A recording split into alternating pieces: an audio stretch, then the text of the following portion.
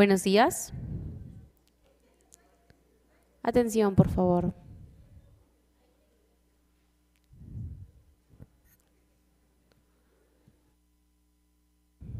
Ok.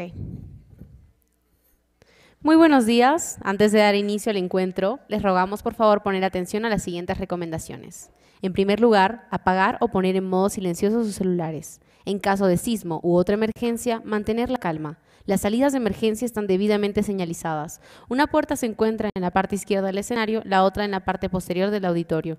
Al salir, por favor dirigirse a los puntos de reunión del patio contiguo, donde habrá personal que le dará instrucciones a seguir. Muchas gracias por su atención. En nombre de la Facultad de Derecho de la Universidad Católica San Pablo, les damos la más cordial bienvenida a las delegaciones de estudiantes de Derecho del Perú que nos acompañan presencialmente en el auditorio y a los que nos siguen a través de la plataforma Zoom al segundo día del sexto encuentro de estudiantes de Derecho sobre el derecho al desarrollo, exigencias y alcances. Quisiera tomar un momento para agradecer de manera muy especial a nuestro auspiciador, Cátedra UNESCO de Bioética y Derechos Humanos, del Ateneo Pontificio Regina Apostolorum y de la Universidad Europea de Roma. Vamos a iniciar esta sesión con el panel internacional El desarrollo y derecho al desarrollo al nivel comparado e internacional. Para ello, quisiera llamar al escenario a los panelistas, en primer lugar, el doctor Rodrigo Guerra, secretario de la Pontificia Comisión para América Latina Estado del Vaticano, el cual nos acompaña de manera virtual. Siguiendo, al doctor Claudio Sartea, profesor de Filosofía del Derecho de la Universidad de Perugia, Italia, que también nos acompaña de manera virtual. Asimismo, al doctor Leonardo Villafuerte Philipsforn, profesor de la Universidad Católica Boliviana San Pablo. Y a nuestra magíster Adriana Melgar Rimachi, profesora a tiempo completo de la Universidad Católica San Pablo. Sean bienvenidos. Nuestro eje nuestro eje central será el desarrollo y derecho al desarrollo a nivel comparado e internacional. Para ello, voy a ceder uso de la palabra al doctor Rodrigo Guerra. Adelante, por favor. Eh, muy buenas tardes, tengan todos ustedes. Eh, agradezco mucho la invitación al profesor Rafael Santamaría y a la Universidad Católica San Pablo para estar este ratito platicando sobre derecho al desarrollo. Em, creo que tenemos que limitar nuestra intervención simplemente a, unos cuantos minutos. Entonces trataré de ser muy sintético, trataré principalmente de ofrecer una provocación. Eh, hace 20 años su servidor escribió un libro que se llama Afirmar a la persona por sí misma y fue publicado en la Comisión Nacional de Derechos Humanos en México. El tema de este libro, con un título tan extraño, era intentar hacer una refundamentación filosófica de los derechos humanos. Como todos ustedes saben, eh, tras la Declaración Universal, eh, hubieron personas que quedaron insatisfechas porque quienes redactaron la Declaración Universal justamente renunciaron a ingresar a los debates, discusiones propias de una fundamentación completa, sabiendo que iba a ser seguramente una discusión larguísima, complicada y con poco consenso. Y optaron más bien por prescindir estos temas radicales de fundamentación. Eh, sin embargo, sin embargo, los temas de fundamentación siempre son necesarios por el hecho de que cuando estudiamos derecho, tarde que temprano, todos nos preguntamos, ¿por qué debo de hacer esto o aquello? Por qué tal norma dice esto o aquello. Y justamente en el por qué, en el fondo, existe un reclamo de justificación racional estricta que nos permita encontrar en qué se sostiene, por ejemplo, una norma positiva o un derecho humano, como los que aparecen en la Declaración Universal. Con el tiempo, evidentemente, eh, eh, la necesidad de fundamentar los derechos ha ido reapareciendo constantemente Em, todos conocemos seguramente, si hemos estudiado algo de filosofía del derecho, que en algún momento Ronald Dworkin justamente afrontó este asunto con su famoso libro sobre tomar los derechos en serio y tantos otros autores, en donde se han ensayado distintas aproximaciones de justificación y fundamentación. ¿Por qué inicio comentando estas cosas? Porque cuando hablamos de derecho al desarrollo, una vez más, necesitamos preguntarnos por qué puede justificar el que, el que podamos hablar con rigor de derecho al desarrollo. Mm, también si nos hemos acercado a los temas de historia de los derechos humanos, habremos notado que en el pasado no muy lejano han habido personas que afirman que solo son auténticos derechos los derechos individuales, las libertades políticas, es decir, más o menos ese universo que Karel Basak clasificaba bajo el nombre de derechos de primera generación, pero que los derechos económicos, sociales y culturales no son estrictamente derechos y mucho menos, mucho menos los así llamados derechos de tercera generación, como el derecho al desarrollo que muchas personas han pensado en los derechos económicos, sociales y culturales y el propio derecho al desarrollo sostenible o al desarrollo simplemente, eh, son buenos deseos morales, morales, bonitos horizontes aspiracionales, pero que en estricto rigor no son derecho. Justamente estos reclamos exigen justificar con rigor la existencia de algo así como el derecho al desarrollo.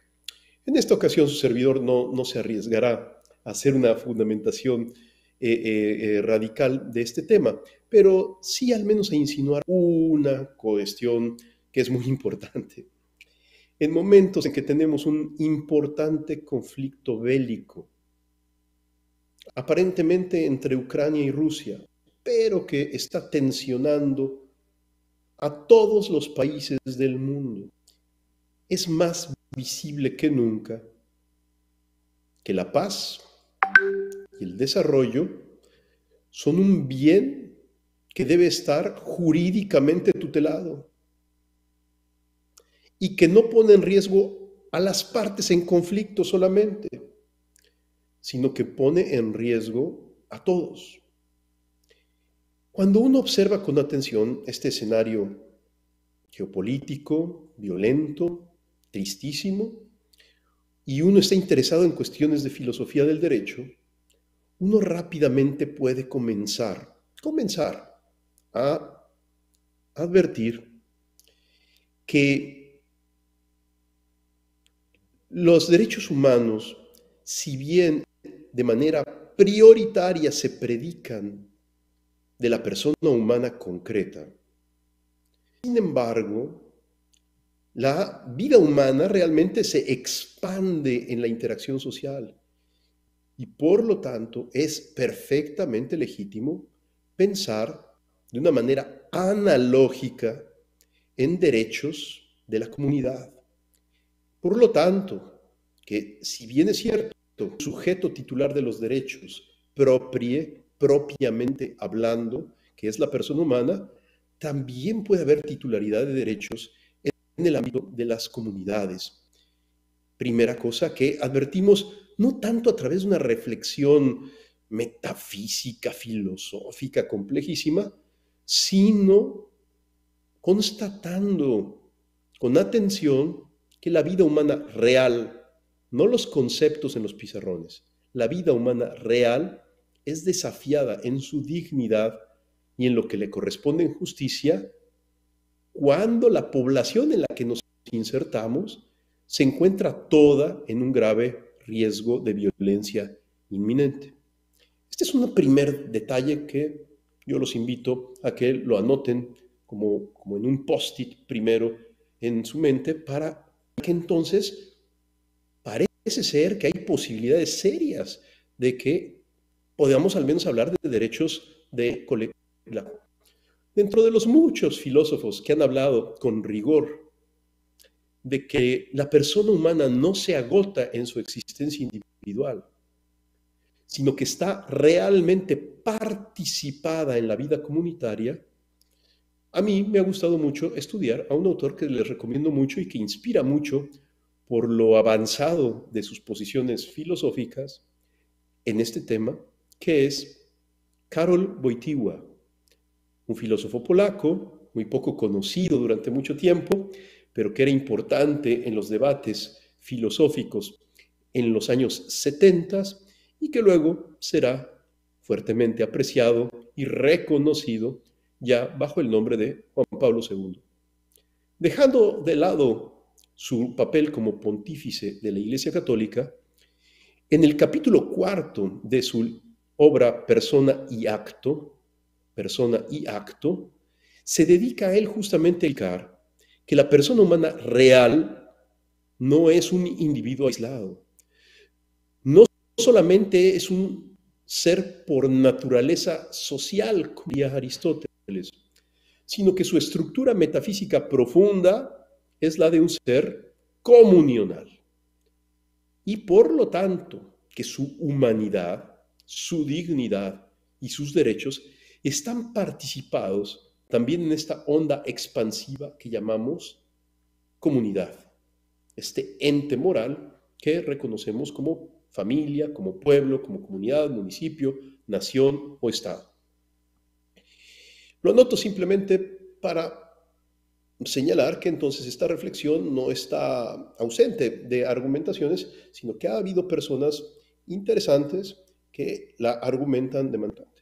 Pero el derecho al desarrollo no solamente supone derechos eh, eh, con un sujeto titular de tipo comunitario, sino que el derecho al desarrollo, además, además, supone superar para ser justificado otro reto. Para que un derecho sea auténticamente derecho, necesita ser de verdad exigible, exigible. Una de las objeciones que se le han presentado a los derechos económicos, sociales y culturales y también a los derechos de la así llamada tercera generación es que no son exigibles, no son exigibles, son los deseos, meros deseos, porque nunca, nunca, nunca un gobierno va a poder cumplir con la creación de toda cada una de las condiciones para vivir a plenitud esos hechos. En efecto, conforme van avanzando los años del siglo XXI, cada uno de nosotros constata la limitación increíble que tiene los gobiernos para cumplir sus planes y proyectos, el Estado de Derecho y sus buenos propósitos anunciados en campaña electoral. En otras palabras, con más conciencia que en el pasado, hoy todos reconocemos la limitación y modestia del papel del gobierno, del gobierno. Sin embargo, cuando hablamos de exigibilidad, es muy importante descubrir que la exigibilidad no solo, no solo es al gobierno, sino que también la sociedad, la sociedad es corresponsable también del cumplimiento y vigencia de los derechos humanos. Eh, un autor como Abramovich, pero muchos otros han argumentado por eso con gran fuerza que los derechos de segunda y tercera generación son verdaderos derechos porque sí son exigibles, pero entendiendo que la exigibilidad no versa solo sobre el gobierno, sino también sobre la sociedad en su conjunto, que requiere tener de una estructura solidaria, de una cultura solidaria, para poder entonces atender desafíos colectivos importantes que afectan, si no son atendidos, gravemente eh, la vida conforme a la dignidad. Pero ya para cerrar esta reflexión y concretar todavía más el tema en el ámbito estricto del desarrollo, eh, cuando uno mira el documento, la declaración que la ONU publicó en 1983 sobre desarrollo como derecho, uno se lleva la tremenda sorpresa que su contenido nos permite descubrir que el derecho al desarrollo es algo así como el derecho a tener derechos. Es como el derecho a poder gozar de derechos sociales, de derechos individuales, de manera individual y comunitaria. Eh, y que esto es así de importante si no existen condiciones reales de accesibilidad para el disfrute de los derechos, los derechos, aunque estén en la norma positiva, no son realmente eh, practicados, vigentes, respetados, promovidos. Se requiere condiciones para, y el derecho al desarrollo en cierto sentido atiende a las condiciones generales para que todos los derechos puedan ser realmente ejercidos. Por eso es que hoy, en el año 2022, y no en el siglo XX, en el año 2022 ya es posible decir algo muy fuerte y que simplemente arriesgo como hipótesis para la discusión, para la conversación y para eh, eh, el debate. El viejo tema de la fundamentación de los derechos humanos hay que atenderlo y entender necesidad para poder justificar un derecho como derecho. Segunda cosa, es muy importante, muy importante apreciar el enorme valor que da el desarrollo. Pero para entender realmente por qué es derecho, es necesario descubrir que el desarrollo tiene una antropología implícita. Acercarnos al tema del derecho al desarrollo es como una invitación sutil, implícita al menos, a superar cualquier forma de antropología individualista que clausure la vida humana y lo justo para ella en el bienestar individual. Por eso es que esta, ya con eso cierro mi reflexión, mirar con atención la importante provocación que ha hecho el Papa Francisco estos temas a través de la encíclica Laudato Si. Una cosa muy interesante que ha sucedido con este texto, aparentemente de origen eclesiástico, y que alguien podría imaginarse que solo debe de estar circunscrito a los ambientes estrictamente eclesiásticos, es que ha sido extraordinariamente bien acogido por su pertinencia, por lo agudo de sus análisis y por las tomas de posición valientes en materia de desarrollo humano integral, mirando a este desarrollo como un verdadero derecho, pero como un derecho de la zona en relación y por lo tanto invitando a desterrar de una vez por todas cualquier antropología que disuelva a la persona en la colectividad o que clausure a la persona en el yo puramente individual. Es como una fuerte llamada de atención que nos hace el Papa Francisco a todos para que despertemos cuenta que más allá de controversias de filosófica, es una necesidad de orden práctico, una necesidad propia de la racionalidad práctica, el entender que la vida, cuando existe a la altura de, la, de las exigencias de la propia dignidad, es una vida humana en relación.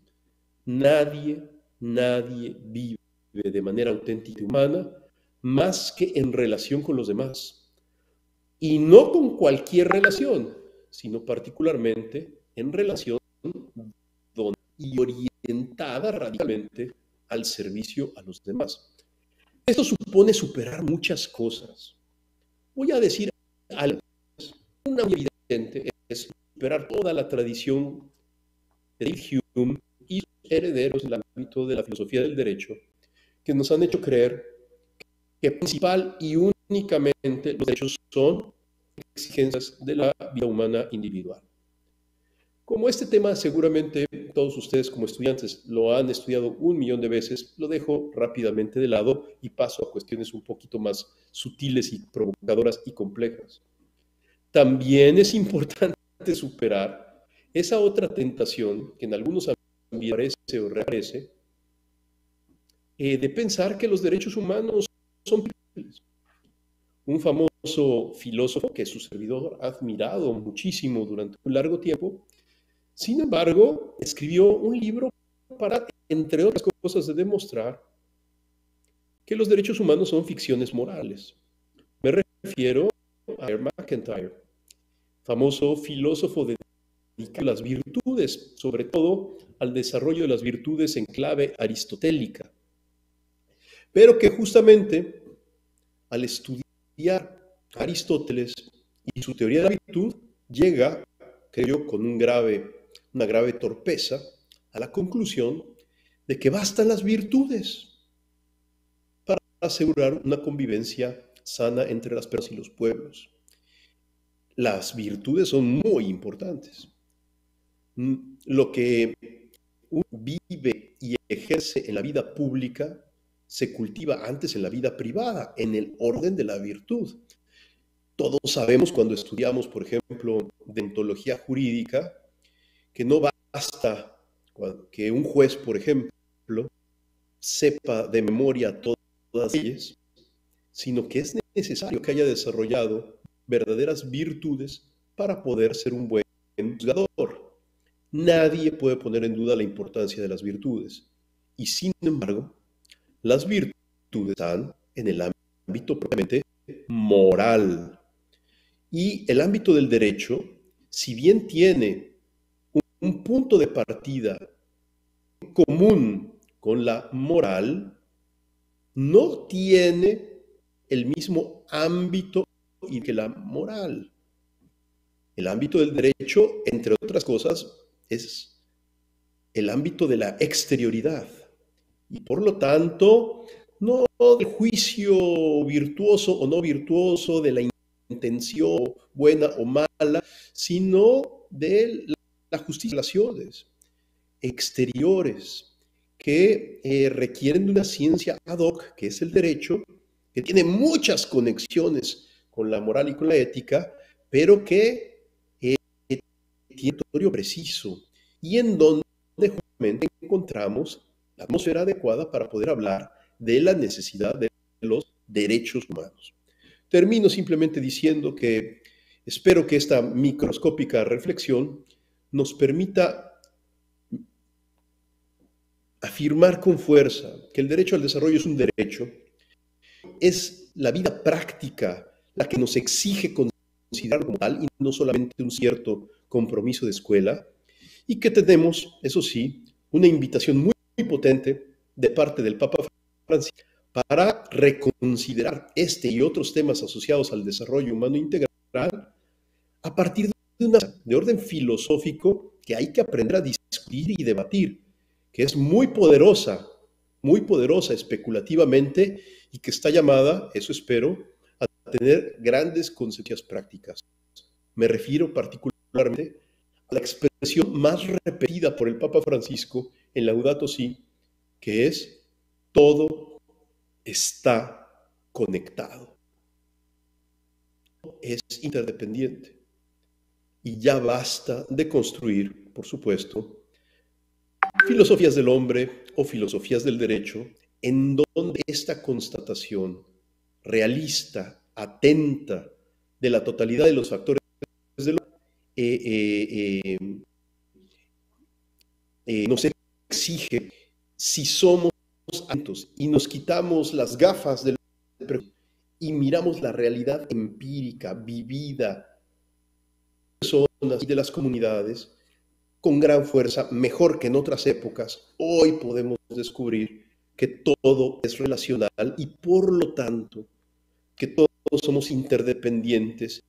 Es lógico que apareciera en algún momento derechos como el derecho al desarrollo que requieren de la colaboración de todos para que pueda ser plenamente vigente, para que todos podamos disfrutar de él.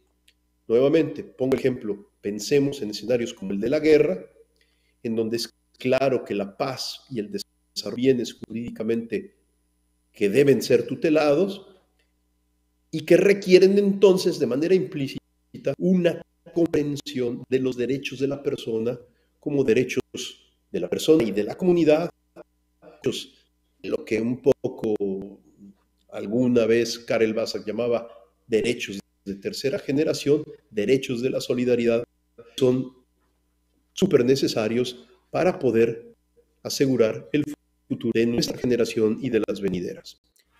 Eh, no sé si estoy del tiempo o si estoy corto o me he excedido. Le agradeceré a los organizadores me indiquen si bien de tiempo. Muchas gracias.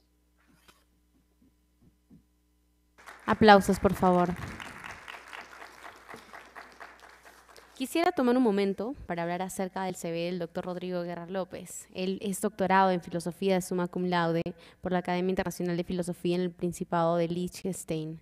Tiene un posgrado en Humanismo Universitario por la Universidad Iberoamericana y la licenciatura en Filosofía por la Universidad Popular Autónoma del Estado de Puebla.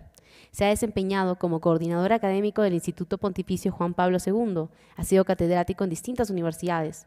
Ha impartido las Karol Wojtyła Memorial Lectures en la Universidad Católica de Lublin, Polonia. Ha escrito como autor o coautor 35 libros. Tres de estos libros han sido prologados por el Papa Francisco. Ha sido secretario privado y coordinador de asesores del gobernador del estado de Querétano vicepresidente de Cánaco, miembro del Consejo Directivo de UCEM Puebla, presidente de Cáritas en la diócesis de Quérato durante 10 años, director general de la Comisión Episcopal de Pastoral Social y director fundador del Observatorio Social del CELAM y del Observatorio Social de la SEM. Fue nombrado por el Papa Benedicto XVI miembro del Consejo Pontificio Justicia y Paz y miembro correspondiente de la Pontificia Academia para la Vida. Es miembro del Consejo Internacional de la Academia de Líderes Católicos, de la Fundación Rafael Preciado Hernández AC, del Consejo del Centro de Gestión del Conocimiento del CELAM. Es fundador también del Centro de Investigación Social Avanzada CISAP y participa en su Consejo de Gobierno. Ha sido nombrado por el Papa Francisco miembro del equipo de expertos del Sínodo Extraordinario sobre la Familia. Es miembro ordinario de la Pontificia Académica para la Vida y miembro ordinario de la Pontificia Academia de las Ciencias Sociales. Actualmente es secretario del Pontificio Consejo para América Latina. Un aplauso para el doctor, por favor. A continuación, voy a leer la introducción para el doctor Claudio Sartea, quien es profesor de Filosofía del Derecho en la Universidad de Perugia, laurea en Derecho en la Universidad de Milán, es doctorado en Filosofía del Derecho en la Universidad de Padua, tiene publicaciones y conferencias en Italia, así como también en otros países de Europa y América. A continuación, lo invito, doctor, para que dé su exposición de manera virtual. Gracias por la palabra, por la presentación. Gracias Rafael Santa María por su cariñosa invitación a esta, este encuentro de estudiantes del derecho, entre los cuales me encuentro yo también, porque estudio derecho desde cuando empecé la universidad y, sigue gustándome mucho el hecho de estudiar. Y me alegro por, por estar con eh, estudiantes eh, y colegas eh, de América y en particular de Perú, que es las que quiero mucho por varias razones eh, personales antes que profesionales. Y así que es un gusto volver a en Perú, en mi querido Perú, aunque de forma virtual. y esta vez tengo que quedarme en mi en mi patria eh, y desde aquí os hablo. Bueno, me pongo en perfecta continuidad con lo que ha observado, considerado el doctor eh, Guerra, que comparto de forma eh, completa y, aprovecho la ocasión para agradecerle la claridad de los conceptos que ha expresado y son conceptos simples ni elementales, sino ya bastante desarrollados. Por eso me ha eh, dado la posibilidad de entrar directo en, mi, en mis consideraciones de filósofo del derecho eh, para proponeros unas reflexiones más del derecho al. Nos hemos aclarado con la relación anterior que eh, los derechos humanos abren un tema de eh, libertad negativa, eh, pero también un tema de libertad positiva. O sea que eh, poderes públicos y privados no solamente tienen que de la, de impedir al, individuo o al grupo de, desarrollarse, sino están llamados, y esto nos lo ha explicado muy acertadamente, que antes que están llamados a cooperar activamente, ¿eh? a poner su propio esfuerzo, que además es parte de la justificación de su misma existencia, para favorecer, para no solamente no impedir, sino también ayudar, soportar el desarrollo del individuo y de los grupos intermedios al servicio del individuo. Esto se ve muy claramente, por ejemplo, en el texto más universal que podemos citar en propósito, la Declaración Universal de los Derechos Humanos, en el artículo 22, como sabéis, nos dice que eh, toda persona como miembro de la sociedad, cito, tiene derecho a la seguridad social y a obtener mediante el esfuerzo nacional y la cooperación internacional, a la cuenta de la organización y los recursos del Estado, la satisfacción de los derechos económicos, sociales y culturales indispensables a su dignidad el desarrollo de su personalidad. Esto es un exacto en que en la declaración de 1948 aparece de forma expresa el derecho al libre desarrollo de la persona, desarrollo de de la personalidad individual. En los artículos siguientes, artículo 26 con referencia a la educación personal y artículo 29 con referencia a la participación en la vida de la comunidad social y política, este derecho al libre desarrollo de la personalidad queda como integrado por sus vertientes relacionales, que también eh, quien ha hablado antes ha muy bien aclarado. Yo creo que mm, el, el, debate, la discusión acerca de si la titularidad del derecho al desarrollo es una titularidad que queda mm, como reservada al individuo física en términos técnicos jurídicos, o también se puede extender a la comunidad de pertenencia de un individuo, a la familia, a los grupos intermedios, a comunidades eh, religiosas, culturales, étnicas, laborales, profesionales. Eh, es un tema, eh, es una discusión que como se, se, soluciona mm, incluso antes que, que comience, con la consideración que también el ponente anterior ha, ha, hecho, muy aceptada, que el ser humano no existe en sí mismo y por sí mismo, uh, existe gracias a la generación, que es un fenómeno típicamente dual, gracias a la familia, que es un fenómeno plural, eh, relacional, gracias a los otros grupos en el que eh, va construyéndose su identidad personal y que son en distintos niveles, el colegio, los grupos de amigos, las relaciones de, estudio, de, amistad, de profesión, de hobby. O sea que eh, mm, en cierto sentido es un falso problema el de buscar la titularidad exacta de este derecho al desarrollo. ¿eh?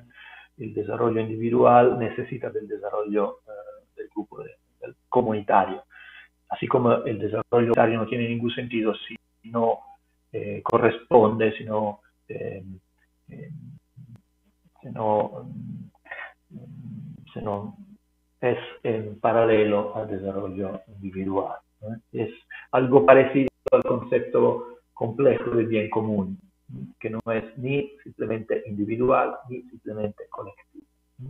La disyuntiva individualismo-colectividad se ha superado, ya debe quedarse como a nuestra espalda. Eh, Francesco Viola, profesor de filosofía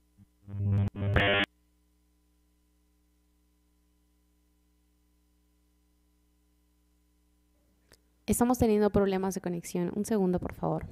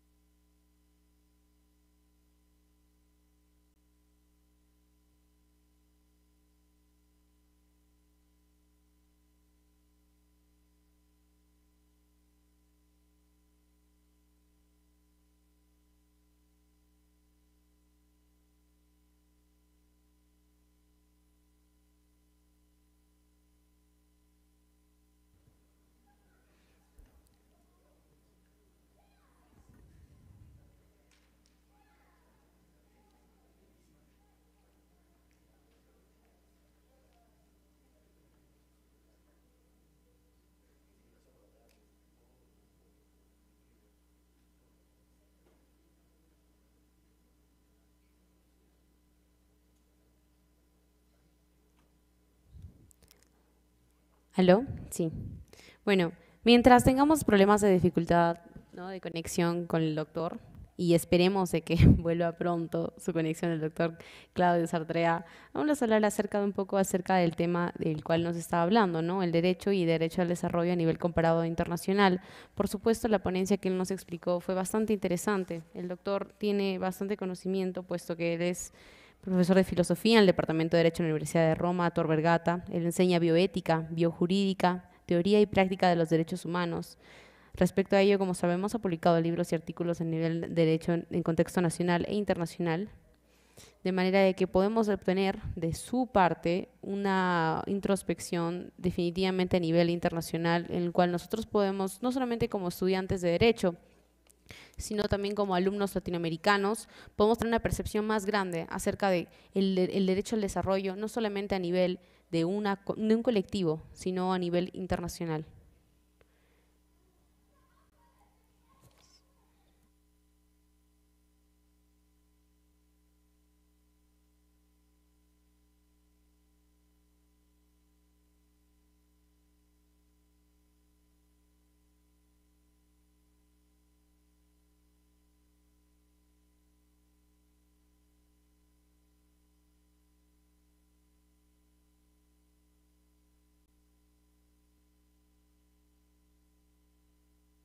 Esperemos unos minutos, por favor.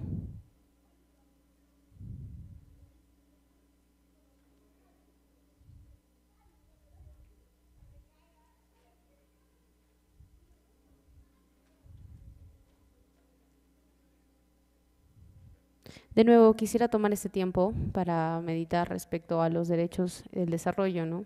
Puesto de que el derecho humano no solamente implica un sentido individual, sino la realización del derecho de los pueblos. Doctor, ¿ya volvió? Sí, se me oye. Perdone la interrupción. No hay ningún problema. Continúe su exposición. Vale, vale. Siento lo que ha pasado, no sé por qué ha pasado.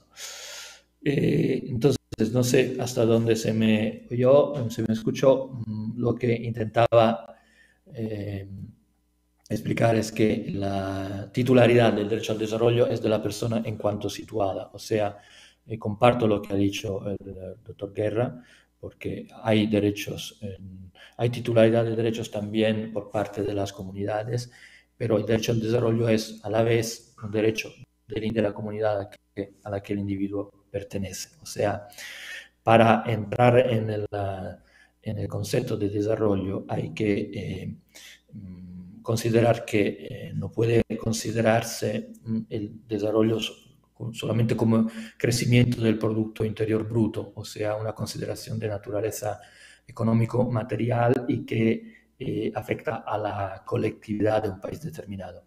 Eh, ni el desarrollo es el simple enriquecimiento de un individuo o de una comunidad, ni el simple bienestar físico o psicofísico un ser humano. derecho al desarrollo, desarrollo en sí mismo es desarrollo de una naturaleza. ¿eh? De una naturaleza. Se puede hablar de un ser humano que va desarrollándose, ¿por qué? Porque se constata que su naturaleza, humanidad, su naturaleza humana, desde luego, va eh, floreciendo, ¿eh? va manifestando con el paso del tiempo todas sus potencialidades de especie, especie humana, y también de individuo, sus específicos talentos, sus capacidades, sus posibilidades existenciales eh, concretas. Eh, esto, como hemos visto y como ha dicho con eh, un gran acierto quien ha hablado antes que yo, abre una reflexión de antropología filosófica. Yo estoy persuadido de que toda filosofía de los derechos tiene que tener eh, eh, en su eh, preocupación central el tema de la fundamentación. Y la fundamentación de un derecho humano es ser en la naturaleza del ser humano. La naturaleza es el punto de partida para considerar todo desarrollable y también de alguna forma el punto de llegada, el telos, la naturaleza, como la palabra misma en, latín eh, dice, su subraya es algo que se proyecta en el futuro. Natura es un participio futuro en el idioma latino antiguo. Son, natura son las cosas que están naciendo, que van a nacer, que nacerán. O sea, es algo que se nos ha dado por un creador, por, por lo que sea, no hace falta una perspectiva religiosa para esta fundamentación metafísica, aunque la perspectiva religiosa pueda ayudar a enriquecer muchísimo el discurso y, llevarlo a, un plan personal, de relación personal entre la criatura y el creador. Eh, pero bueno, un punto de partida que es la naturaleza que se nos ha dado y un punto de partida que es esa concreta naturaleza que soy yo y que es mi personalidad al acabarse mi proceso de desarrollo que se acaba con la, finalización de mi, de mi misma biológica. Y bien, en este sentido, una antropología filosófica de los derechos humanos es algo indispensable. Todo otro discurso sobre los derechos humanos eh, corre riesgo de quedarse en la superficie en un debate bastante estéril sobre su efectividad, sobre protección, temas importantísimos en, el plan político, pero en el plan de la fundamentación jurídica, eh, desde luego, son temas Si hablamos de una eh, antropología filosófica de los derechos humanos, yo creo que hay que tener en cuenta que el ser humano no es segmentable, no es divisible las partes que, los, que lo componen no son partes, ¿eh? somos una cosa eh, única. Eh, y eso en la antropología filosófica, por ejemplo, de Karol Wojtyła, que se ha mencionado antes, resulta muy, muy claro también en su reflexión sobre la sexualidad humana. Bien, entonces, la indivisibilidad del ser humano en su vertiente somática, en su vertiente psíquica, en su vertiente social, es eh, lo que constituye, en mi opinión, el punto de partida de esta antropología filosófica de los derechos humanos. Lo que hay que desarrollar es naturaleza y al mismo tiempo eh, corporal, eh, psíquica, espiritual y emocional. Y los derechos humanos, de hecho, a eso, a eso apuntan, ¿eh? a eh, proteger, mover eh, esas tres esenciales del ser humano. Y el desarrollo de, un ser humano como individuo en su entorno social no es otra cosa que el desarrollo de esas características que él tiene como ser humano en la especificidad de aquel, de aquel ser humano. Como dice eh, Francesco Viola, eh, que ya os mencionaba, con palabras que evocan perfectamente, casi literalmente las que ha empleado el doctor Guerra en la ponencia primera, em, el derecho al desarrollo sería, cito, entre comillas, el conjunto de las condiciones generales económicas, políticas y sociales que aseguran el disfrute de los derechos humanos. Hasta aquí la citación. O sea que los derechos humanos eh, aseguran al individuo humano eh, la eh, posibilidad de desarrollar plenamente su personalidad. Es un conjunto de condiciones. Luego, hay eh, la libertad del individuo, hay sus elecciones concretas, hay su biografía, pero lo que eh, compete, lo que los estados y las sociedades, como nos ha dicho el doctor Guerra muy acertadamente, también comparto esta idea, tienen que eh, construir, promover, asegurar, consolidar, es un entorno, es el conjunto de condiciones en que mm, este desarrollo puede efectivamente empezar y, acontecer. En este sentido, el, derecho al desarrollo sería el, conjunto de las condiciones generales que aseguran el disfrute de los derechos humanos. Bien, para acabar el discurso, que por supuesto, como se ve, es inmenso y, podría desarrollarse en, en tantas distintas direcciones, me gustaba hacer referencia a em, modelos de eh, intento de los derechos humanos, eh, de particular forma del derecho a tener derechos humanos, como decía el doctor Guerra, o sea, el derecho al desarrollo, en el sentido que hemos eh, divisado, mm, intentos no metafísicos, o sea, que eran una justificación del derecho al desarrollo y de su eh, juridificación eh, fuera de una antropología ontológicamente orientada, como la he propuesto y que nos ha propuesto el doctor Guerra. Porque, como sabemos, en, el debate filosóficos, pero también eh, internacional, eh, internacionalístico y eh, actual sobre derechos humanos, son los intentos más discutidos y más populares. Estoy pensando en particular forma, bueno, habría muchos autores que citar, podríamos citar sin duda Ronald Dworkin, pero yo mm, pensaba hace referencia solamente eh, en el área eh, norteamericana eh, a, a, John Rawls muy rápidamente y a la crítica de la perspectiva de John Rawls llevada por Martha Nussbaum en su en su intento de explicación del derecho al desarrollo en términos de eh, capabilities Approach. Bien, como sabemos, eh, John Rawls, sobre todo en su obra eh, People's Law, habla mucho de derechos humanos y distingue entre estados decentes, de estados, estados bien ordenados, estados que todavía están como en, desarrollo.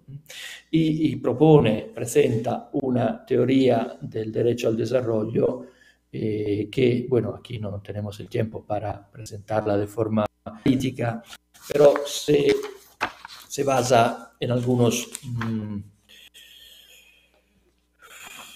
en algunos principios mm,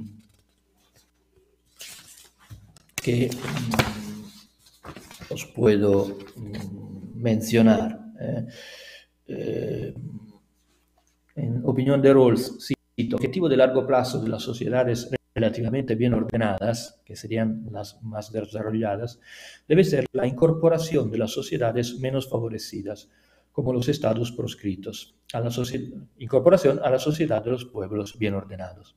Los pueblos bien ordenados tienen el deber de ayudar a las sociedades menos favorecidas. Parecería que en este esquema eh, el derecho al desarrollo subsiste efectivamente eh, eh, con una titularidad de, de, las comunidades menos favorecidas y el deber de las otras comunidades de proveer a sus exigencias. Pero el desarrollo de este tema en Rawls es muy limitado, incluso abstracto, como muchas de sus, de sus tesis principales, como bien sabemos. El primer criterio que se debe tener en cuenta, según Rawls, en este intento de incorporar las sociedades menos favorecidas a la comunidad, las sociedades desarrolladas o bien ordenadas, es que una sociedad bien ordenada no tiene que ser rica. Y hasta aquí podemos estar de acuerdo con él. Hemos visto que el desarrollo no es este, la riqueza material. Un segundo criterio mm, de Rawls sobre la manera de cumplir el deber de asistencia es reconocer que la cultura política de una sociedad menos favorecida es muy importante y que al mismo tiempo no existe una receta simple para que los pueblos ayuden a una sociedad menos favorecida su cultura política y social. Esto es una consideración de carácter muy, eh, muy, muy formal, muy abstracto. El tercer criterio se refiere a que su finalidad del deber de, de asistir, del deber de eh, asistencia no es otra que ayudar a las sociedades menos favorecidas para manejar sus propios asuntos de manera razonable y racional y convertirse finalmente en miembros de los pueblos bien ordenados. O sea, criterios y temas que mm, dejan de un lado eh, la reflexión sobre el contenido de este, eh, de este orden, de este buen orden del que habla insistidamente Rawls, eh, para la comunidad y para el individuo en la comunidad. La eh, crítica de Marta Nussbaum es que desde el punto de vista del método mm, me encuentra de acuerdo. O sea, en opinión de Marta Nussbaum, hay que empezar por las personas, por las personas concretas y sus exigencias. En este sentido, Marta Nussbaum, al hablar del desarrollo del deber de asistencia, empieza por considerar el tema de la, eh, cioè por presentar el capability approach, que como bien sabéis es la, eh, la, perspectiva antropológica en la que se mueve ella, pero también eh, su, su, inspirador en, este, en, este, en este asunto, o sea, Amartya Sen. Los dos han elaborado de antropología de las capacidades que en Nussbaum se transforman también en, en, funcionamientos. Estos son los dos polos esenciales de su antropología, capacidades y funcionamientos, y, que permite a su eh, interpretación del derecho al desarrollo del correspondiente deber de asistencia llevar a un nivel de, con, concreteza mayor que la perspectiva eh, eh, colectiva y estadualista presentada por, eh, por Rawls. Eh, ¿Cuál es, pero, y aquí, mm, sin embargo, me acerco a mis conclusiones, el eh, límite del intento de Nussbaum? aunque sus críticas puedan resultar acertadas, leemos en, en Nussbaum creating capabilities, Rawls ha hecho solo un pequeño progreso hacia una concepción más rica de la sociedad internacional. Por otro lado, vemos que este progreso no ha venido propiciado por el propio enfoque contractual, sino que ha tomado la forma de una serie de rupturas importantes con el mismo, en la dirección de un enfoque más parecido al que voy a defender en lo que sigue, y que se basa en la definición de una concepción mínima de lo que debe ser la justicia social en términos de ciertos resultados positivos, de lo que las personas son realmente capaces de ser y de hacer. Esta es la propuesta metodológica de Nussbaum con la que en mi opinión, hay que eh, concordar. Eh, el límite principal de esta propuesta es su eh, programática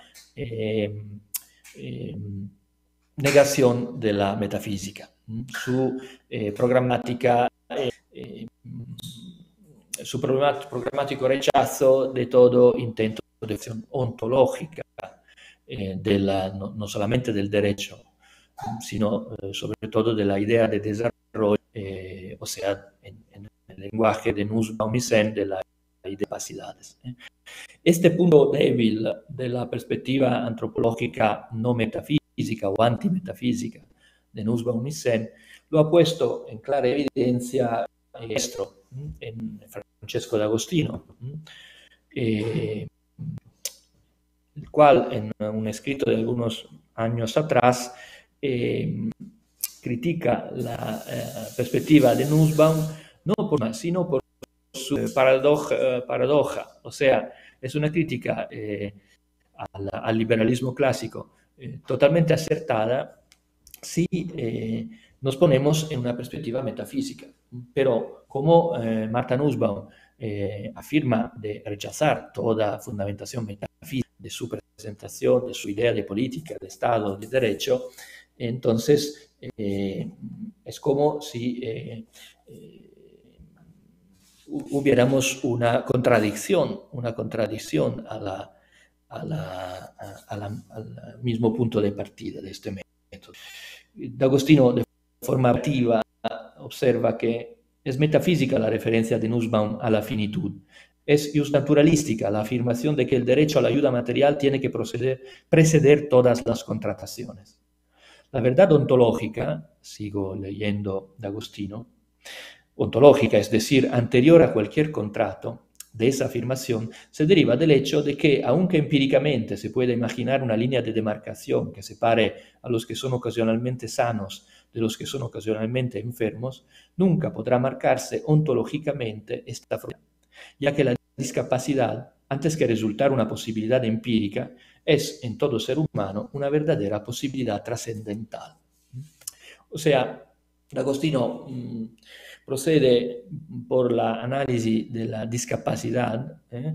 Eh, como posibilidad no ocasional, sino trascendental del ser humano, como parte esencial de nuestra condición eh, humana, de nuestra misma naturaleza, para que las perspectivas no metafísicas y que se basan en las capacidades, en los funcionamientos, en, el, fondo, en el fondo en el principio de autonomía individual como fundamentación del derecho al desarrollo y del deber correspondiente de asistencia, quedan fuera de todo el discurso político y jurídico justamente los que más necesitan eh, esta asistencia, o sea, los discapacitados, los que, los, las personas cuya autonomía es eh, inexistente o muy, muy débil. Y es exactamente eh, mm, por esas personas que hubiera que empezar todo discurso sobre el, el, derecho al desarrollo, porque son las personas más débiles, a las que un derecho realmente sensible a las exigencias de la justicia tiene que mirar eh, antes que a todas las demás. Bien, espero que se haya entendido más o menos lo que eh, quería decir. Os agradezco la atención y, y os saludo deseándole un buen trabajo. Aplausos, por favor.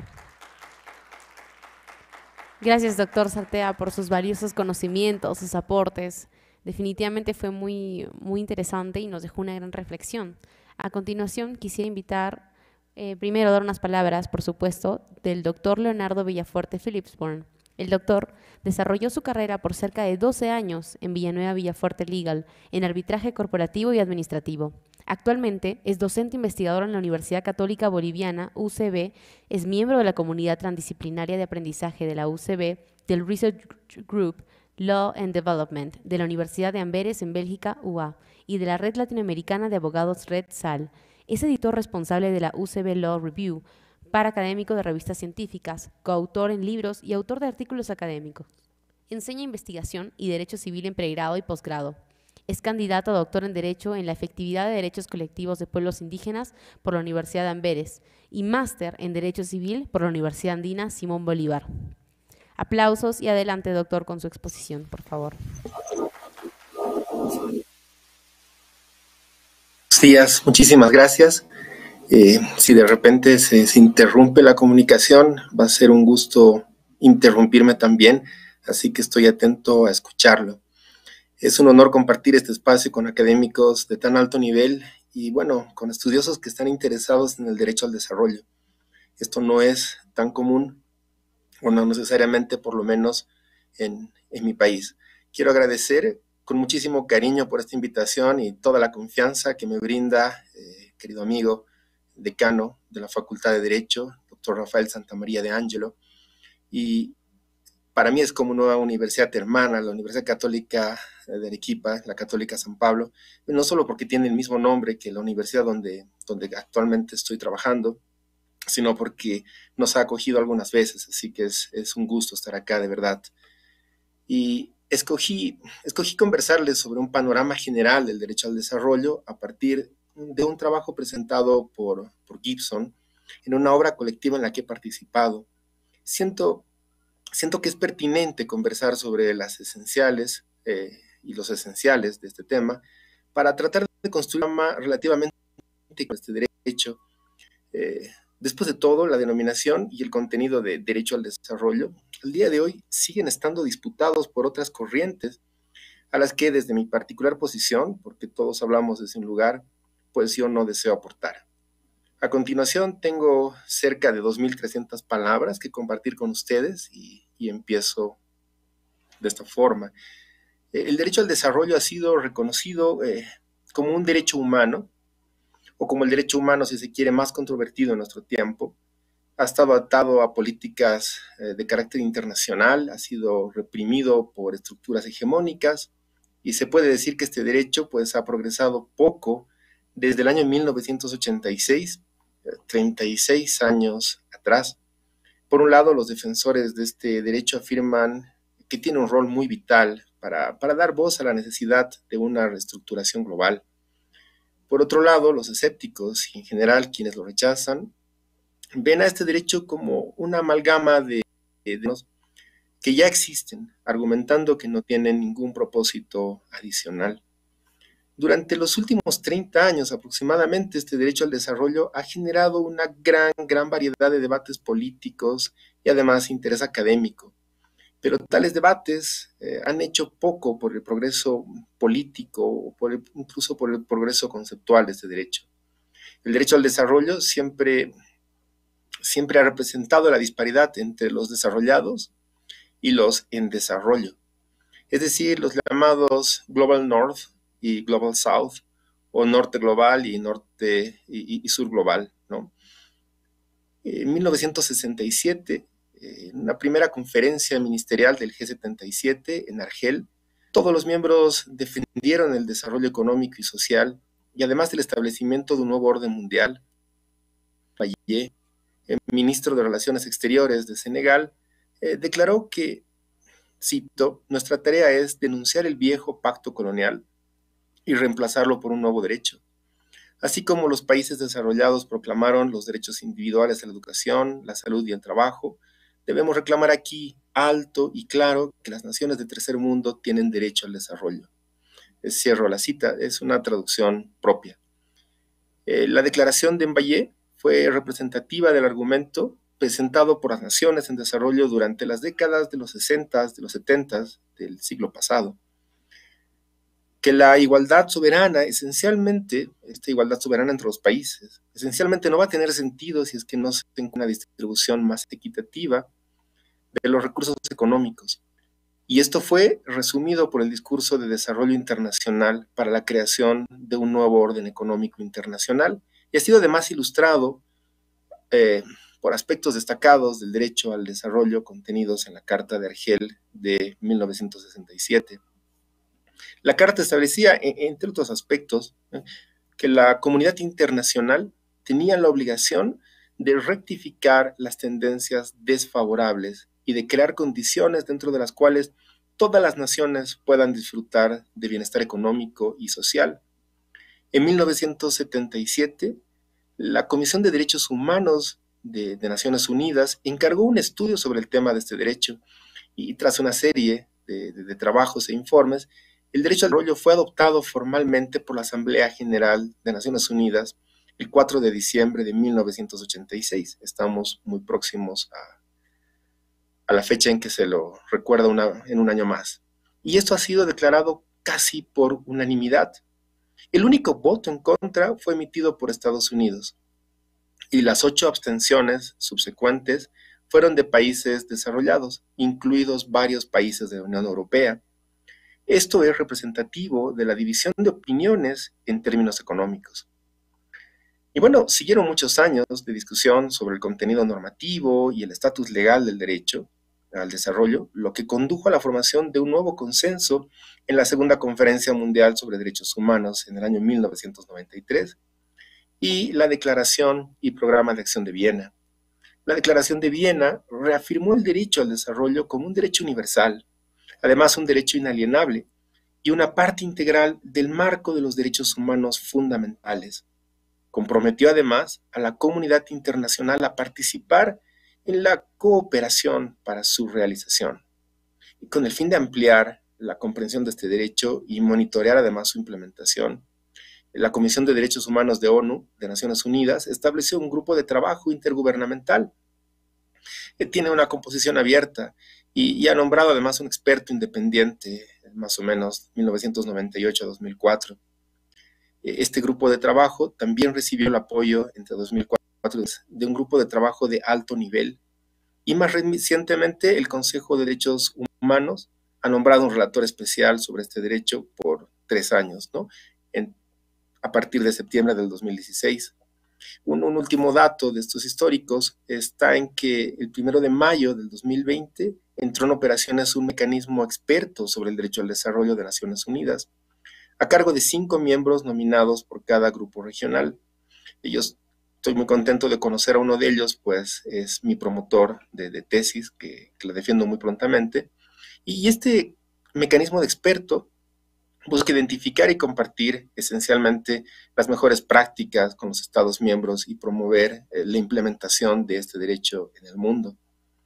Ahora bien, ¿de qué se trata el contenido de este derecho? Muy, muy brevemente repasamos eh, la lógica de esta declaración. Eh, contiene 16 párrafos, ¿no? En su preámbulo tiene 10 artículos que establecen definiciones, derechos y deberes, un compromiso de eliminar las violaciones a los derechos humanos y la necesidad de paz y seguridad internacionales. E, en consonancia con lo manifestado por, el apreciado doctor Claudio Sartea, que, me precedió, pues eh, más o menos se puede entender a partir de, esta declaración que el derecho al desarrollo sería un derecho humano inalienable, ¿no? que da derecho a toda persona y a todos los pueblos a participar, a contribuir y a disfrutar de un desarrollo en el que los derechos humanos se hacen plenamente. Esto se encuentra así en el artículo 1. Y aunque no se da una definición específica de lo que es desarrollo, eh, concepto muy, discutible, muy complejo, pues el significado podría eventualmente derivarse un poco de los artículos 2, 4 y 8, sus apartados eh, respectivos, como, como un proceso, un proceso integral y, multifacético que contiene aspectos de carácter social, cultural, político y, económico. El, derecho al desarrollo se, diferencia de los marcos tradicionales de otros derechos humanos en su intento de, de casarla a los derechos individuales y a los colectivos, mirando no solo al Estado, eh, en realidad también observa al individuo porque él es el receptor del desarrollo.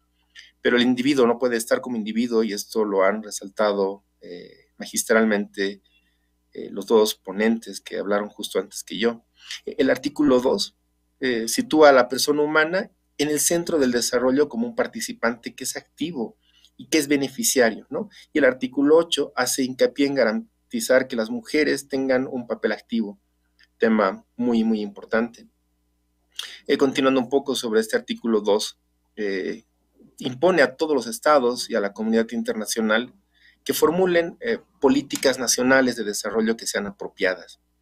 No se define realmente lo que es apropiado, pero podría inferirse que apropiado podrían ser algunas políticas que tienen que estar en consonancia con la realización progresiva del derecho al desarrollo, así como con otros derechos humanos. La planificación de las actividades de desarrollo, según los artículos 2 y 8, debería ser activa, tiene que ser además libre y tiene que ser significativa. Tres conceptos eh, relevantes, pues con ellos se podrá intentar lograr la, erradicación de, de injusticias de carácter social y se tratará además de lograr reformas económicas y sociales apropiadas. Los estados supuestamente están obligados, según el artículo 6, a crear las condiciones en las que el desarrollo pueda prosperar mediante la eliminación de cualquier obstáculo que, resulte del incumplimiento de los derechos civiles y políticos, así como de los derechos económicos, sociales y culturales. Además, las referencias a otros derechos humanos, pues a lo largo de la declaración, demuestran la interdependencia, la indivisibilidad y un refuerzo mutuo de los marcos pero igualmente alimenta la ideología de rechazo de que el derecho al desarrollo representa una amalgama de los derechos humanos existentes. La obligación de cooperar para garantizar el desarrollo y disminuir los obstáculos al desarrollo, de manera que se promueva un nuevo orden económico internacional, se incluye en el artículo 3 y rinde un poco al contexto histórico en, este, en el que este derecho surgió. El artículo 4 sostiene que dicha cooperación internacional pues debería ser parte de una acción sostenida para promover el desarrollo rápido de los países en desarrollo. Esto evidentemente encendió críticas eh, del norte eh, en las que se argumentó que tal disposición en realidad lo que estaría haciendo es promover la creación de una obligación eh, discrecional sobre la cooperación internacional para el desarrollo. Eh, el derecho al desarrollo, como tal en una declaración, de verdad que no es vinculante, más pertenece al derecho indicativo o, o como, como se lo conoce. En realidad, está contenido en una declaración.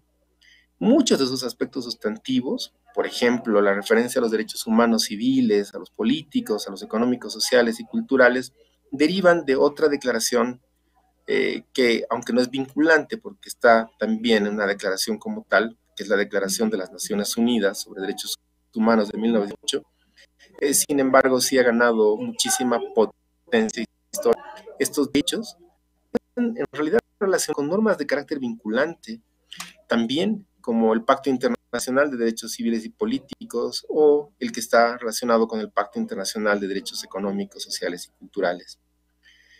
Eh, también principios como la soberanía estatal y la no discriminación, que formarían parte del derecho internacional consuetudinario, que también es de carácter vinculante para todos los estados. El derecho al desarrollo representó un, un gran avance en relación entre los países del norte y del sur. Este derecho ha enfatizado la necesidad de equidad y la indivisibilidad de los derechos humanos y se enfoca en una participación de carácter inclusivo. Todo ello se ha incluido en los marcos de desarrollo modernos, por ejemplo, los ODS, los Objetivos de Desarrollo Sostenible, y, y otros más, por ejemplo, como la Agenda de Acción de Addis Abeba en la tercera Conferencia Internacional sobre Financiamiento para el Desarrollo en 2015. Y aún así, a pesar de que los miembros de, de, Naciones Unidas acordaron implementar esta declaración, al día de hoy no se ha llegado a ningún acuerdo real sobre su naturaleza de una obligación como tal. El derecho al desarrollo también ha ganado reconocimiento en otros instrumentos de carácter regional.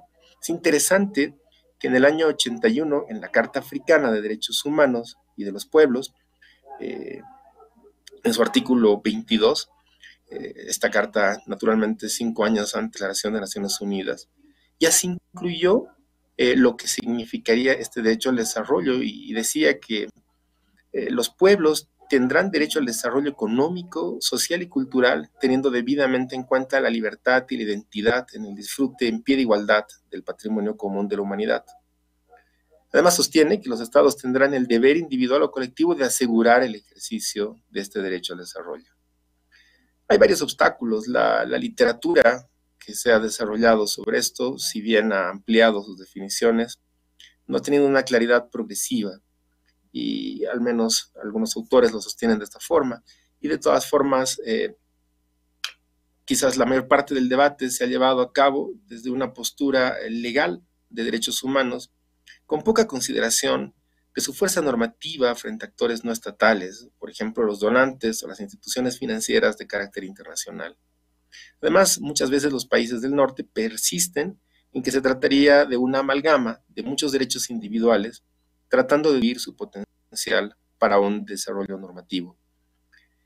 Eh, persiste además esta división de sur. Eh, la interpretación como tal del derecho al desarrollo sigue estando dividida por una línea económica. El sur pone énfasis, como, sabemos, en la necesidad de un cambio del sistema global, incluyendo una mayor participación de los países en desarrollo en tomas de decisiones globales y centrándose en el desarrollo o el derecho al desarrollo como un derecho de carácter colectivo, enfatizando lo que está mal con esta continuidad de una estructura que podríamos llamar hegemónica y resistiendo la forma interna como bien sostenía hace unos momentos atrás el doctor Rodrigo Guerra. Y por el contrario, pues el norte se centra en aumentar la buena gobernanza, en mejorar la democracia y en mejorar la gestión económica dentro de nuestros países, ignorando la necesidad de un ajuste que debería ser de carácter más bien estructural a nivel internacional y generando además obligaciones extraterritoriales contenidas en el derecho al desarrollo.